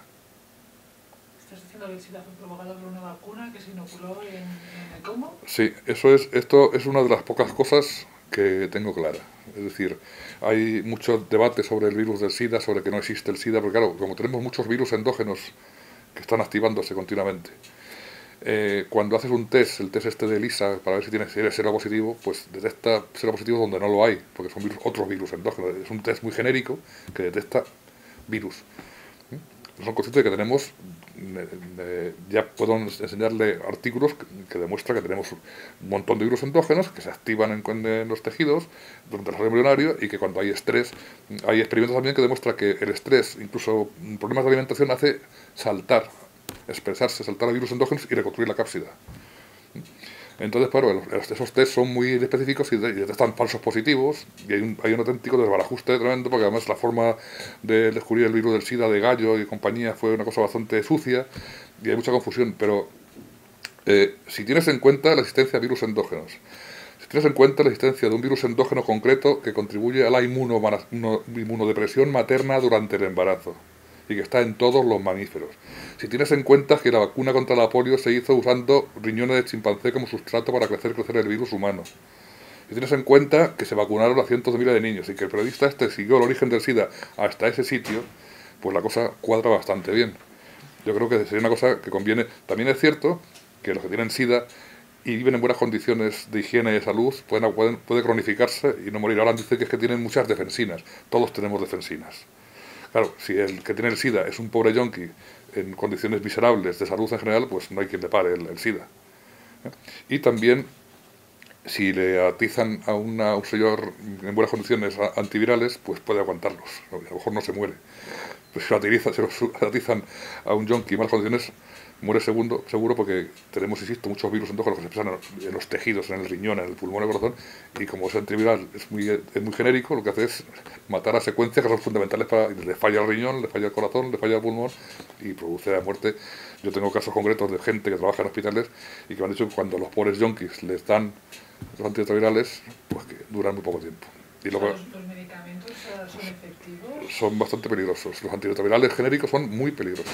Son es como el tema del Tamiflu, ¿no? Que es un anti, anti anti... son tremendamente dañinos, o sea, porque es una concepción absolutamente absurda, porque ataca a virus endógenos que, que están en los organismos y que se expresan en tejidos y que son parte constituyente del funcionamiento de esos tejidos. O sea que eh, eh, la visión de Darwin también ha invadido lo que es toda la medicina actual. claro, claro. Tiene, esta misma visión? Claro, si es que el tema está en que se ha transformado en, toda una cosmovisión, en una forma de ver la vida. O sea, es que el darwinismo nunca ha sido una, teoría científica consistente. ¿eh? Como dice Von Bertalanffy, una teoría que nunca ha estado demostrada, que está expresada de una forma insuficiente y que su, presencia solamente puede explicarse con argumentos sociológicos. Es una, una visión de la vida, de que la vida es competencia, de que hay unos más aptos que otros y que la selección natural es una fuerza que capaz de dirigir la vida, que es la que la justiciera, ¿no? Es, es como una religión, pero sustituyendo a Dios por la selección natural. Porque lo que hace es lo mismo, es crear vida, entrar dentro de la célula, de, crear proteínas nuevas, crear nuevos procesos, una cosa sorprendente, que es, absurdo, ¿no?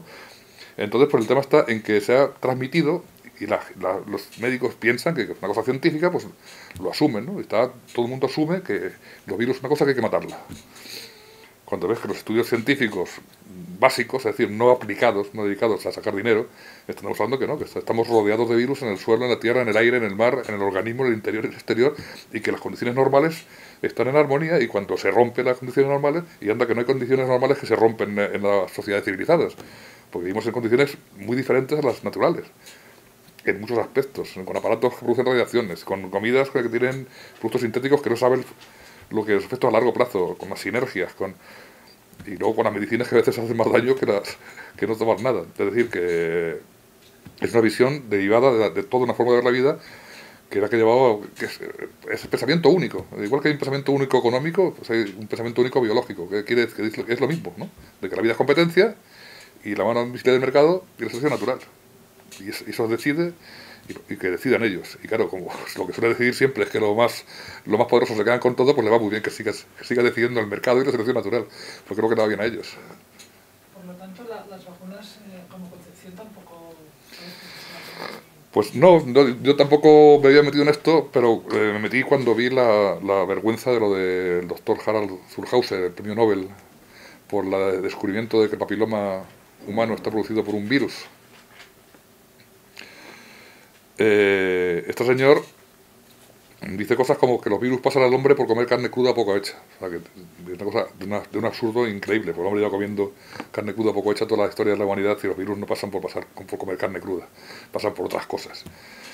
Entonces, pues cuando vi un artículo que en, un periódico, a, una página, diciendo que había que vacunar al 100% de la población, incluidos los varones, me entró una indignación que, que me puse a investigar y de hecho escribí un artículo advirtiendo sobre el peligro de la vacuna contra el papilomavirus, ¿eh? porque se ha visto que en los genomas eh, humanos hay secuencias parciales del papilomavirus, que son secuencias seguramente relacionadas con el desarrollo embrionario de la piel. Y cuando se expresa en un momento inadecuado produce, produce un, tumor. El papilomavirus también me informé de que en España la incidencia era bajísima, que se puede solucionar con las revisiones ginecológicas habituales y cuando aparece pues, se estirpa sin ningún problema las verrugas, que los casos extraños que se producen de muerte son casos muy extremos de malas condiciones de vida, de mujeres en malas condiciones, prostitutas y cosas así, y que son escasísimos de todas formas, y que no tiene ningún sentido la vacunación masiva contra algo que, que no tenía esa incidencia. Luego me enteré de que en Estados Unidos se habían pagado a los gobernadores para, para que impusieran la, la vacuna, y finalmente apareció que dos miembros del Tribunal del Premio Nobel que le dio el premio eran miembros de una industria farmacéutica. Con lo cual, pues eh, fue cuando me empecé a meter en el tema y, la verdad que cuando buscas encuentras cosas realmente terribles ¿eh? con las vacunas. Y desde el punto de vista biológico, pues cuando se contemplan los virus y las bacterias como parte de un procesos naturales biológicos y que el organismo está preparado naturalmente para mantenerse en equilibrio, no para luchar, sino para mantenerse en equilibrio con los virus y bacterias del interior y del exterior, pues te planteas eh, el hecho de qué es lo que hacen las vacunas. Eh, el sistema inmunitario tiene dos pasos, que son una, barrera, primera barrera exterior, que produce el rechazo eh, inmediato de las sustancias que no tienen que estar allí, y luego una segunda barrera que, que produce la memoria inmunitaria. Entonces, si la vacunas tú, te saltas el primer paso, saltas directamente a meter en la sangre eh, un virus atenuado, una proteína del virus, algo así, lo que haces es, un proceso que está todo coordinado, no son pasos independientes, todo está unido siempre. Te saltas el primer paso. ¿Y qué puedes hacer con eso? Pues que debilites el sistema inmunitario del niño a largo plazo. Cuando te piensas en un niño pequeño, la cantidad de vacunas que le meten en unos pocos meses, se te ponen los pelos de punta. Y entonces, claro, eh, cuando hablas de que está aumentando mucho las alergias, que está aumentando mucho el asma, y bueno, pues la alergia al polen, la alergia al, al olivo, bueno, si la humanidad ha vivido siempre en el campo, no habrían podido vivir, es, por un motivo moderno, un motivo de ahora. No, también por la contaminación, y por sí, también, también, pero yo pienso que las vacunas tienen mucho que ver con muchas eh, de este tipo de enfermedades de origen nuevo, que son una fuente de ingresos también para las farmacéuticas, por otra parte, o sea que la verdad que es un buen negocio provocarlo y luego cobrar por, por curarlo si fuera ese el caso, que creo que ese es el caso. Entonces, pues, el problema está en la concepción esta de que todos son, hay que matar, hay que competir, y, hay que, y me temo que había que replantearse a fondo las vacunas. Y ya no hablemos del tema de los aditivos, de los coadyuvantes, ¿no? que se le meten eh, eh, coadyuvantes derivados de, de timerosal, derivado del mercurio, ahora de aluminio, para aumentar el poder inmunogénico de la vacuna. Lo que hace resulta que el, el mercurio y el aluminio son neurotóxicos hay científicos americanos que han asociado claramente el aumento del autismo con las vacunas, con el, con el mercurio. Lo han puesto a varir, claro, por supuesto, los que tienen el dinero tienen el poder, claro, y los laboratorios farmacéuticos tienen dinero para comprar gente que, se lance como, lobos contra los científicos que dicen estas cosas, y la medio de comunicación lo mismo, ¿no? Que se, deben a, sus anunciantes. Y entonces pues les ponen a parir, pero la realidad es que eh, el autismo es una cosa que es muy nueva y que si se estudia se va siguiendo los pasos, pues se llega hacia el aluminio o hacia el mercurio. Y en conjunto, pues la verdad es que me he dejado de, este, seguir investigando en el tema de la industria farmacéutica y compañía porque temo caer ya en, el, en, los conspiranoicos, ¿no? en el tema este, que al final dice, no puede ser, no puede ser que sea todo tan falso, tan sucio y tan feo. De hecho, más que, que los virus o las bacterias sean peligrosos para nosotros, me parece que somos nosotros los que somos peligrosos para ellos a ver si algún día se van a, revoltar contra nosotros y nos van a liquidar. Claro. Eso es un problema que, es muy cierto. ¿eh? Es muy cierto porque mm, ya hemos visto el número de bacterias y virus que hay en la Tierra, en el mar, en todos los sitios. Ya he visto que eh, su función es mantener el equilibrio ecológico y el funcionamiento de todos los seres vivos. Pero claro, tienen también un componente patológico, que se produce cuando algo altera su funcionamiento natural. En las grandes extinciones, en las grandes extinciones de la evolución, ha habido extinciones selectivas, había un tipo de, animales que, se extinguían y otros no, y no se sabía por qué. Y cabe la posibilidad de que sea por la activación de bacterias y virus endógenos, eh, o, del ambiente. Es decir, que de alguna forma los las bacterias y virus tienen, es como si fueran eh, agentes constructores de vida y cuando conviene destructores de vida. Entonces, si el desequilibrio ambiental es tan tremendo que se desequilibra todo, pues puede que recuperen su aspecto patógeno y digan, venga, otro salto y otro cambio. Y lo que hay, fuera. Y, es verdad, o sea, no, no, es ninguna tontería en absoluto, es una posibilidad que hay que contemplar, desde luego. ¿Y el, cáncer cómo lo explicarías? Pues hombre, desde el punto de vista de esta concepción de naturaleza, pues no es nada natural, ni nada lógico, ni son genes malos que están ahí para producir cáncer. Eh, lo que se ha visto que hay unas características compartidas en el, entre los, el desarrollo embrionario y los, y los tumores sólidos. Entonces, desde mi punto de vista, lo que es el cáncer es un desarrollo embrionario desatado en un momento inadecuado por una agresión ambiental. Entonces, claro, se asocian virus al cáncer porque, como hemos visto, los virus están asociados con el desarrollo embrionario. Entonces, cuando está el, tejido está alterado, pues salen virus endógenos que reconstruyen la casa. hay un estudio muy bien hecho sobre el cáncer de mama que demostraba que emitía partículas retrovirales de origen endógeno. O sea, y que también puede tener relación con la metástasis, porque son secuencias de desarrollo embrionario por ahí sueltas por el, por el tejido circulatorio, pues puede llegar a, una, a un tejido de otro tipo, porque no son, no sé, si fuera un cáncer de, de hígado, se, se, va al pulmón y existe que son células de hígado, pues producirían células de hígado, pero no, el, desarrollo, el, cáncer es de pulmón. Entonces pueden ser secuencias embrionarias que pasan de un sitio a otro y desarrollan, activan el embrionario que producía el cáncer. Es decir, que no son oncogenes malvados que estén ahí para producir cáncer. Igual que los genes de las enfermedades, no son causas sino consecuencias, son secuencias alteradas por alguna agresión ambiental. Lo que hace es estudiar a fondo cuáles son las agresiones ambientales que producen las cosas determinadas, cuáles son los efectos sinérgicos de un aditivo, de una, de una conserva, con, una, con un eh, eh, herbicida de un cultivo o con un materiales o insecticidas que echan en las, en las casas o que echan en o material de, de limpieza de, de, doméstica. ¿Tú no crees que pueden haber unas causas emocionales que provoquen esos... También, también. esos- Ah, claro, si es que la- el, el estrés ambiental puede ser de muchos tipos. O sea, igual que una causa emocional puede producir un virus del herpes, yo he oído mucho decir a médicos, a mujeres que se han divorciado y ha hecho un cáncer de mama. Son casos frecuentísimos. Bueno, de hecho, mi abuelo murió, emocionalmente se murió su mujer y se sentó en la puerta de su casa y en tres días se murió. Es decir, que y- y no, sabe- no se sabe de qué, porque en aquellos tiempos era una zona rural y no se, no se hizo ningún tipo de autopsia. Pero es decir, que el tema emocional, el tema emocional tiene mucha influencia en el, en el sistema inmunitario. Es decir, que la- el organismo es un todo y el- esto tiene una función importante en el conjunto del control de, de la- del funcionamiento del organismo, evidentemente. O sea, las medicinas estas alternativas son, algunas de ellas son muy dignas de ser tenidas en cuenta, sin duda. Entonces, vamos a pasar ya a otra parte. Ah, pues, ¿cuál es tu, tu teoría? ¿Tienes alguna teoría nueva que sustituya a la de Darwin? ¿O ¿Cuál es tu explicación de la evolución? Bueno, yo creo que a lo largo de esta conversación se ha podido ir viendo más o menos mis ideas, pero claro, parece. Yo he comprobado que he publicado decenas de artículos al respecto y algún que otro libro, y, la respuesta no es que la rebata, sino que se callan. Sí, parece que no se entiende muy bien lo que digo exactamente. Lo voy a decir de una forma muy clara. Vamos a ver, la vida es el resultado de la integración de componentes de la vida que son sistemas muy complejos. Son la integración de bacterias y virus. Estas bacterias y virus, de momento, el origen no se puede saber. Entonces, lo que no pretendo hacer es inventármelo, como hacen los darwinistas, se inventan un mundo de ARN, se inventan una. Y como se ha inventado todo, todo, todo les funciona. Pero esto no hay forma de inventárselo, porque los datos que tenemos es que estaban en la Tierra desde que la, tie- la vida no era posible en la Tierra, están aquí. Hay datos que demuestran que son, nuestras células son fusión de bacterias con componentes virales. Eh, la variabilidad que hay de organismos eh, surgió de forma muy repentina en el Cámbrico, hace 550 millones de años. Todos los tipos de organizaciones existentes ahora estaban ya en el Cámbrico y entonces hace falta unos programas embrionarios que justifiquen esa aparición tan diferente.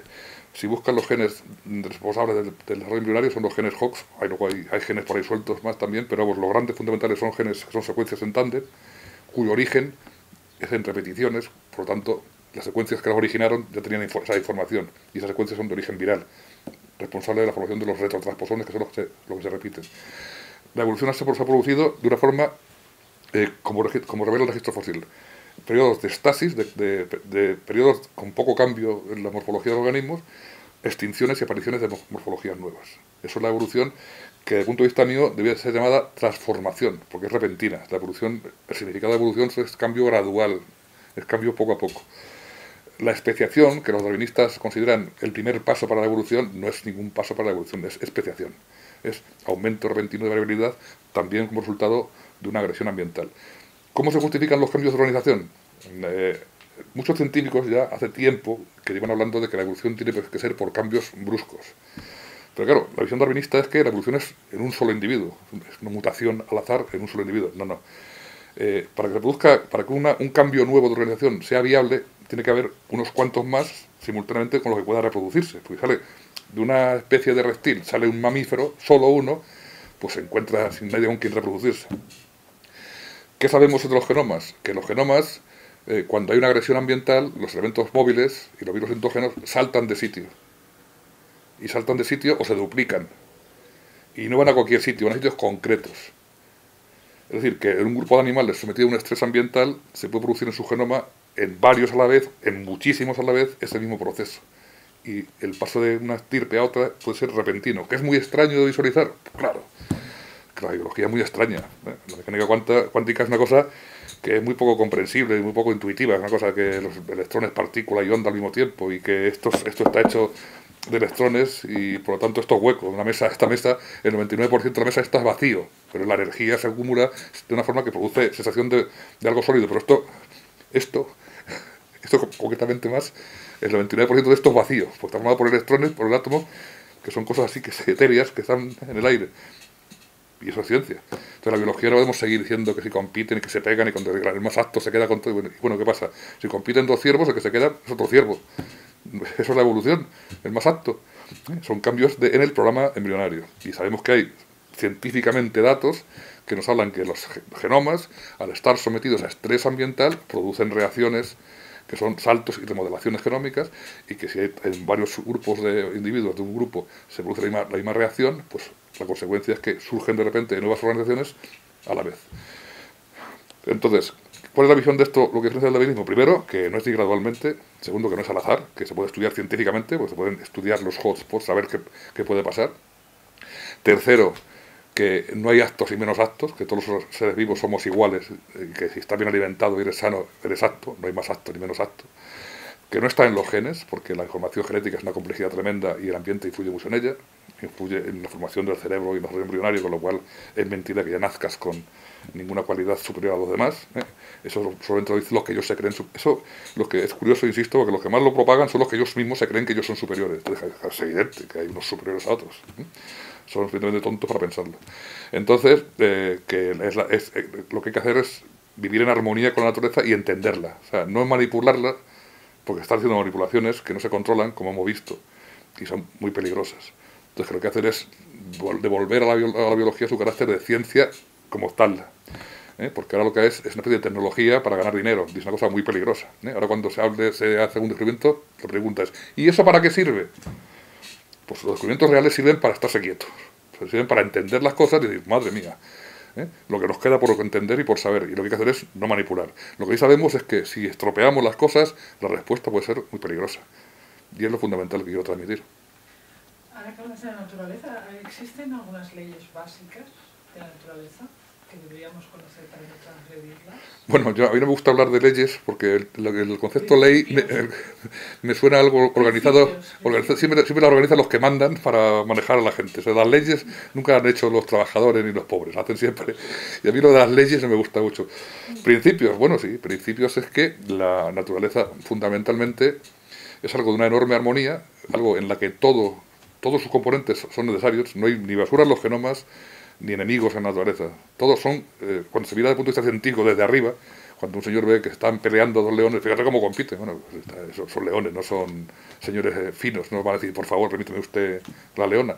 Sino, eh, pero cuando se mira en conjunto, el resultado es que todo está ahí. Los leones comen cebras y las cebras comen hierba y las, las bacterias fabrican la hierba y todos son necesarios, pero descomponen las cebras. Es decir, que todo es una integración de fenómenos de una tremenda complejidad y que todo tiene que tener una armonía para que se mantenga. Y que si se desequilibra, la forma de recuperar el equilibrio puede ser a base de, una gran crisis que puede llevarse por delante a, la civilización occidental, vamos.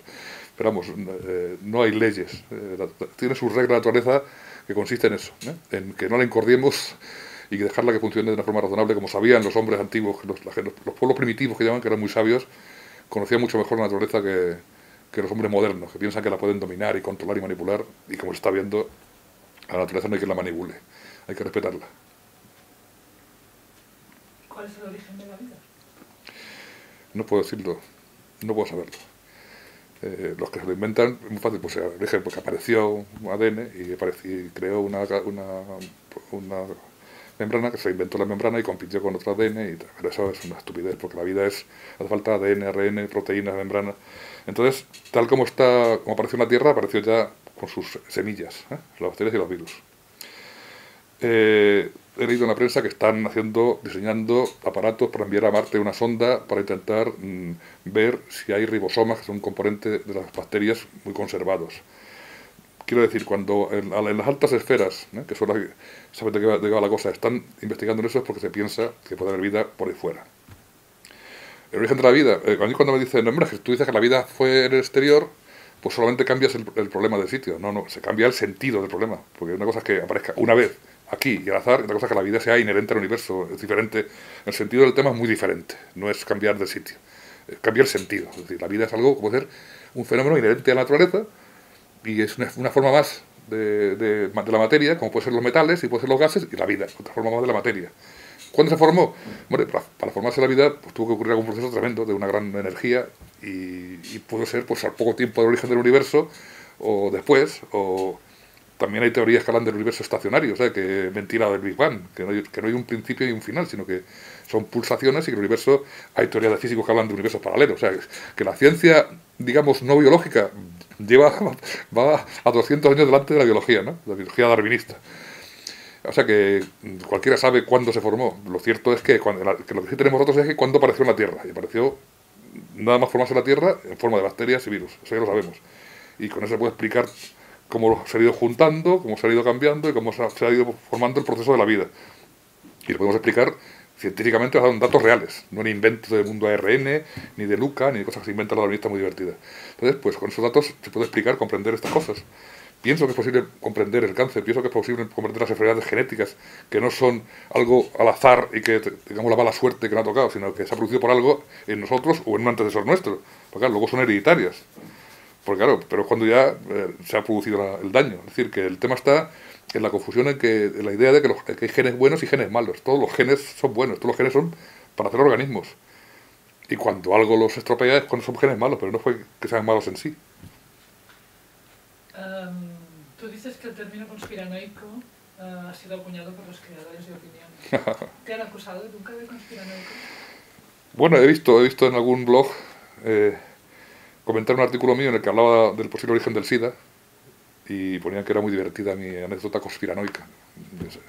Yo creo que esta especie de, de vacuna de, de, los que manejan la información para devaluar, igual que por ejemplo cuando tú hablas, eres crítico con el darwinismo, te intentan devaluar diciendo, este es creacionista, o sea, nos han, nos han importado de Estados Unidos el debate darwinista-creacionista y han convencido a mucha gente de que el que no es darwinista es creacionista. ¿Eh? A mí me lo han dicho. ¿Eh? Dice que yo hablo de que los virus los han mandado los extraterrestres y no sé qué, las cosas así, también lo he leído. O sea, que queda claro que no lo eres. Evidentemente.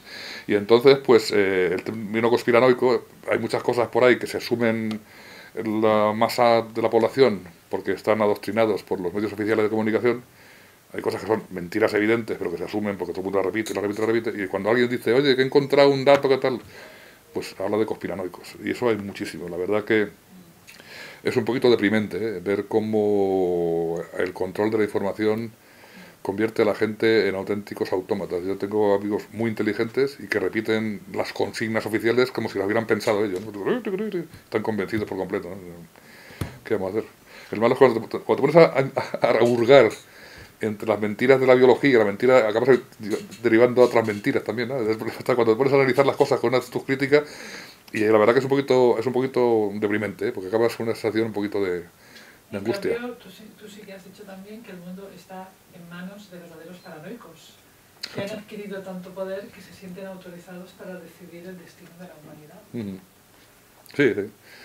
Hay unas cuantas personas, son muchas, que tienen un poder terrorífico. Ya no hay ninguna ninguna fantasía decir que en este mundo tal como está organizado, el que tiene el dinero tiene el poder. Y tiene mucho dinero tiene mucho poder y hay datos de cómo controlan eh, organismos internacionales como la OMS y cómo controlan organismos eh, como la FAO o con los transgénicos, la con, con, las farmacéuticas. Entonces, pues, pues la verdad que resulta un poquito agobiante eh, cuando te metes en el mundo conspiranoico y vas encontrando datos sobre grupos de estos de presión más o menos secretos o más o menos descarados, ¿no?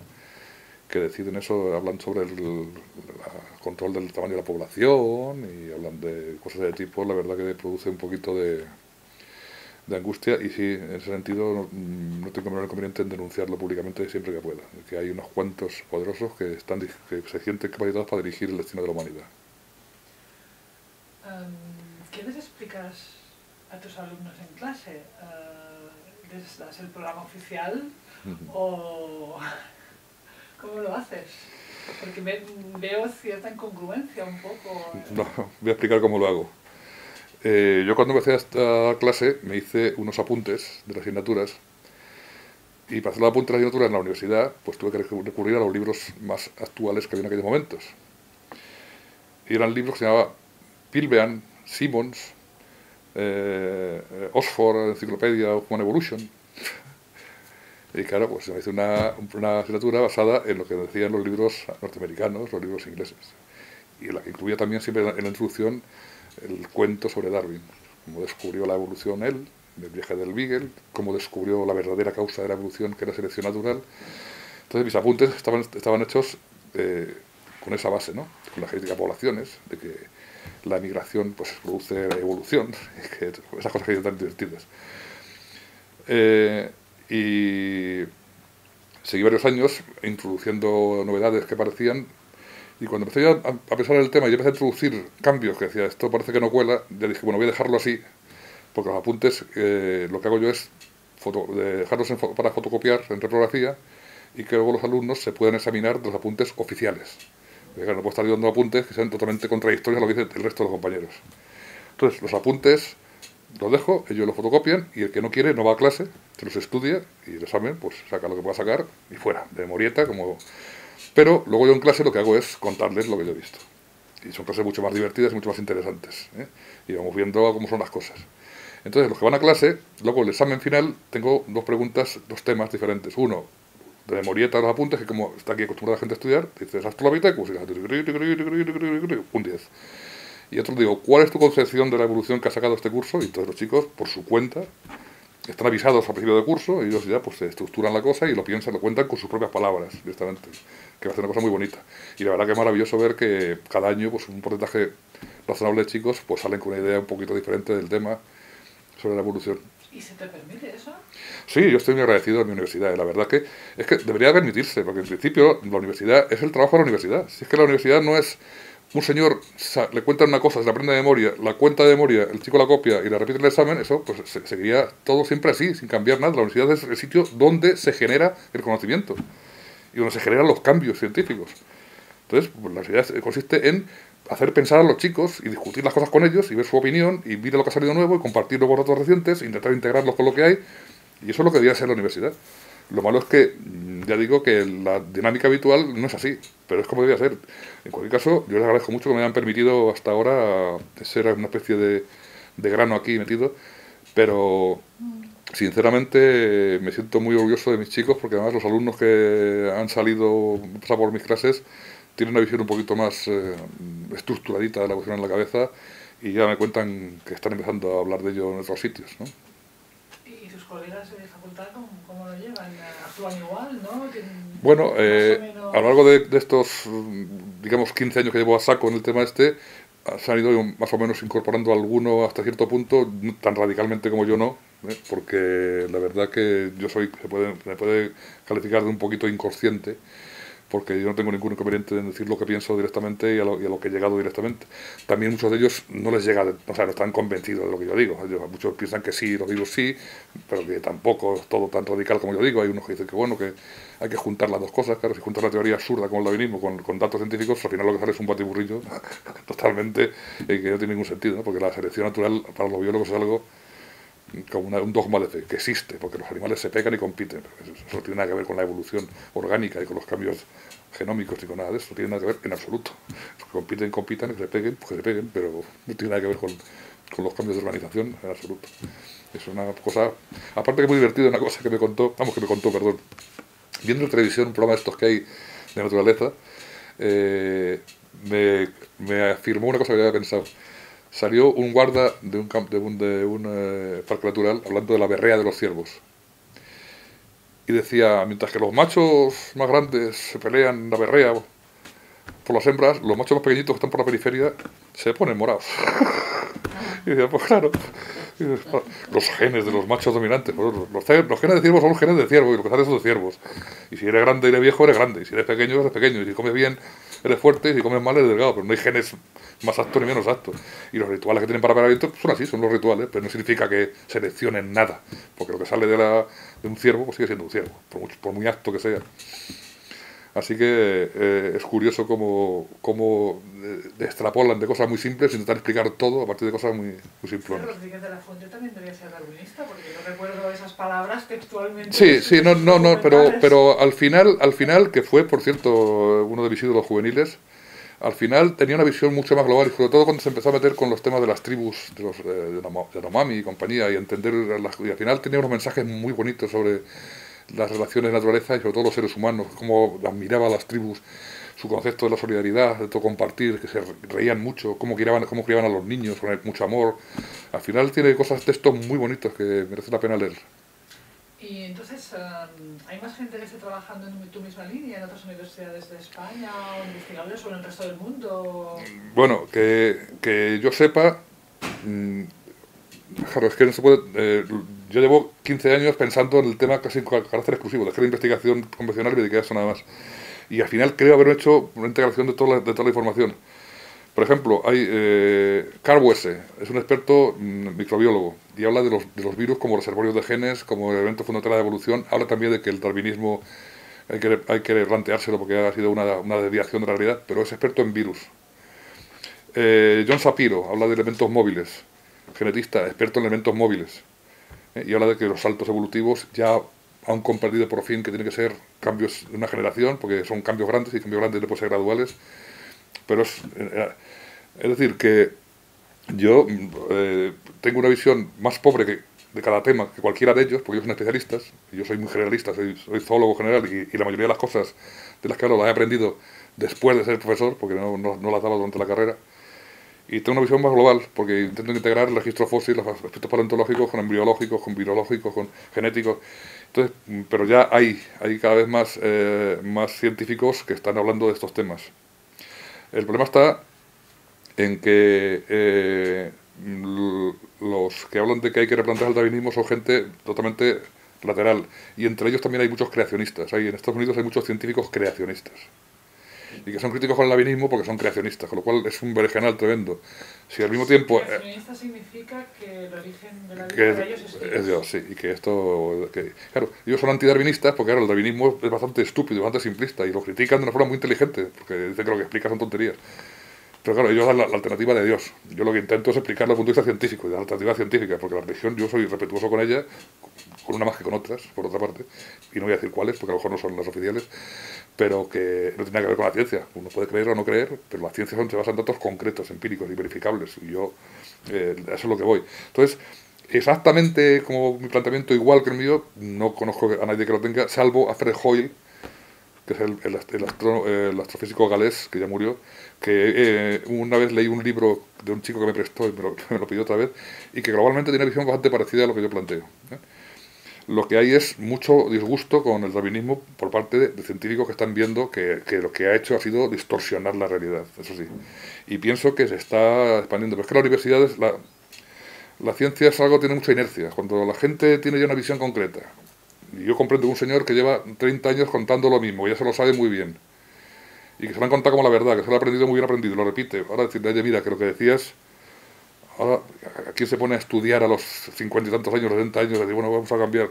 Pues claro, la cosa así, bueno, pues yo hasta que me muera sigo así, ya vendrá otro después. O sea, que hasta que la cosa se vaya incorporando gente joven con una visión más abierta del tema a la universidad, pues la cosa va a ser lenta. Y también lo malo es que hay gente joven que entra que son auténticos fanáticos. O sea, hay, forma, hay la forma de adoctrinar y de a los chicos decirles que esto es así por narices y que el que piense que no es así es un tío peligroso por algo, es un tío porque es creacionista, porque es peligroso. Y hay chavales, hay gente joven que son todavía más fanatizados que los mayores ¿eh? por el tema del darwinismo, porque es un tema que es los científicos te hacen creer, te hacen venerar a Darwin, es como si fuera un profeta que trajo la verdad, te ponen viejecito con la barba ¿eh? Porque la foto, la cara que tenía con esa teoría mm, era muy significativa. Pasa que luego, al dejarse la barba, ya le cambió un poquito el aspecto, así como más paternal, más patriarcal. Que no sé quién fue el que aconsejó que se dejara la barba, pero que no salió del seguro. Y fue también una, maniobra curiosa. Y se ha generado una especie de veneración, con lo cual pues se, se siente agredido, ¿no? Cuando dice, mira, que este señor era muy, iba muy justito. ¿Alguna cosa más que quieras aportar o decir? ¿Alguna cosa que no te haya preguntado? ¿Un mensaje para la humanidad?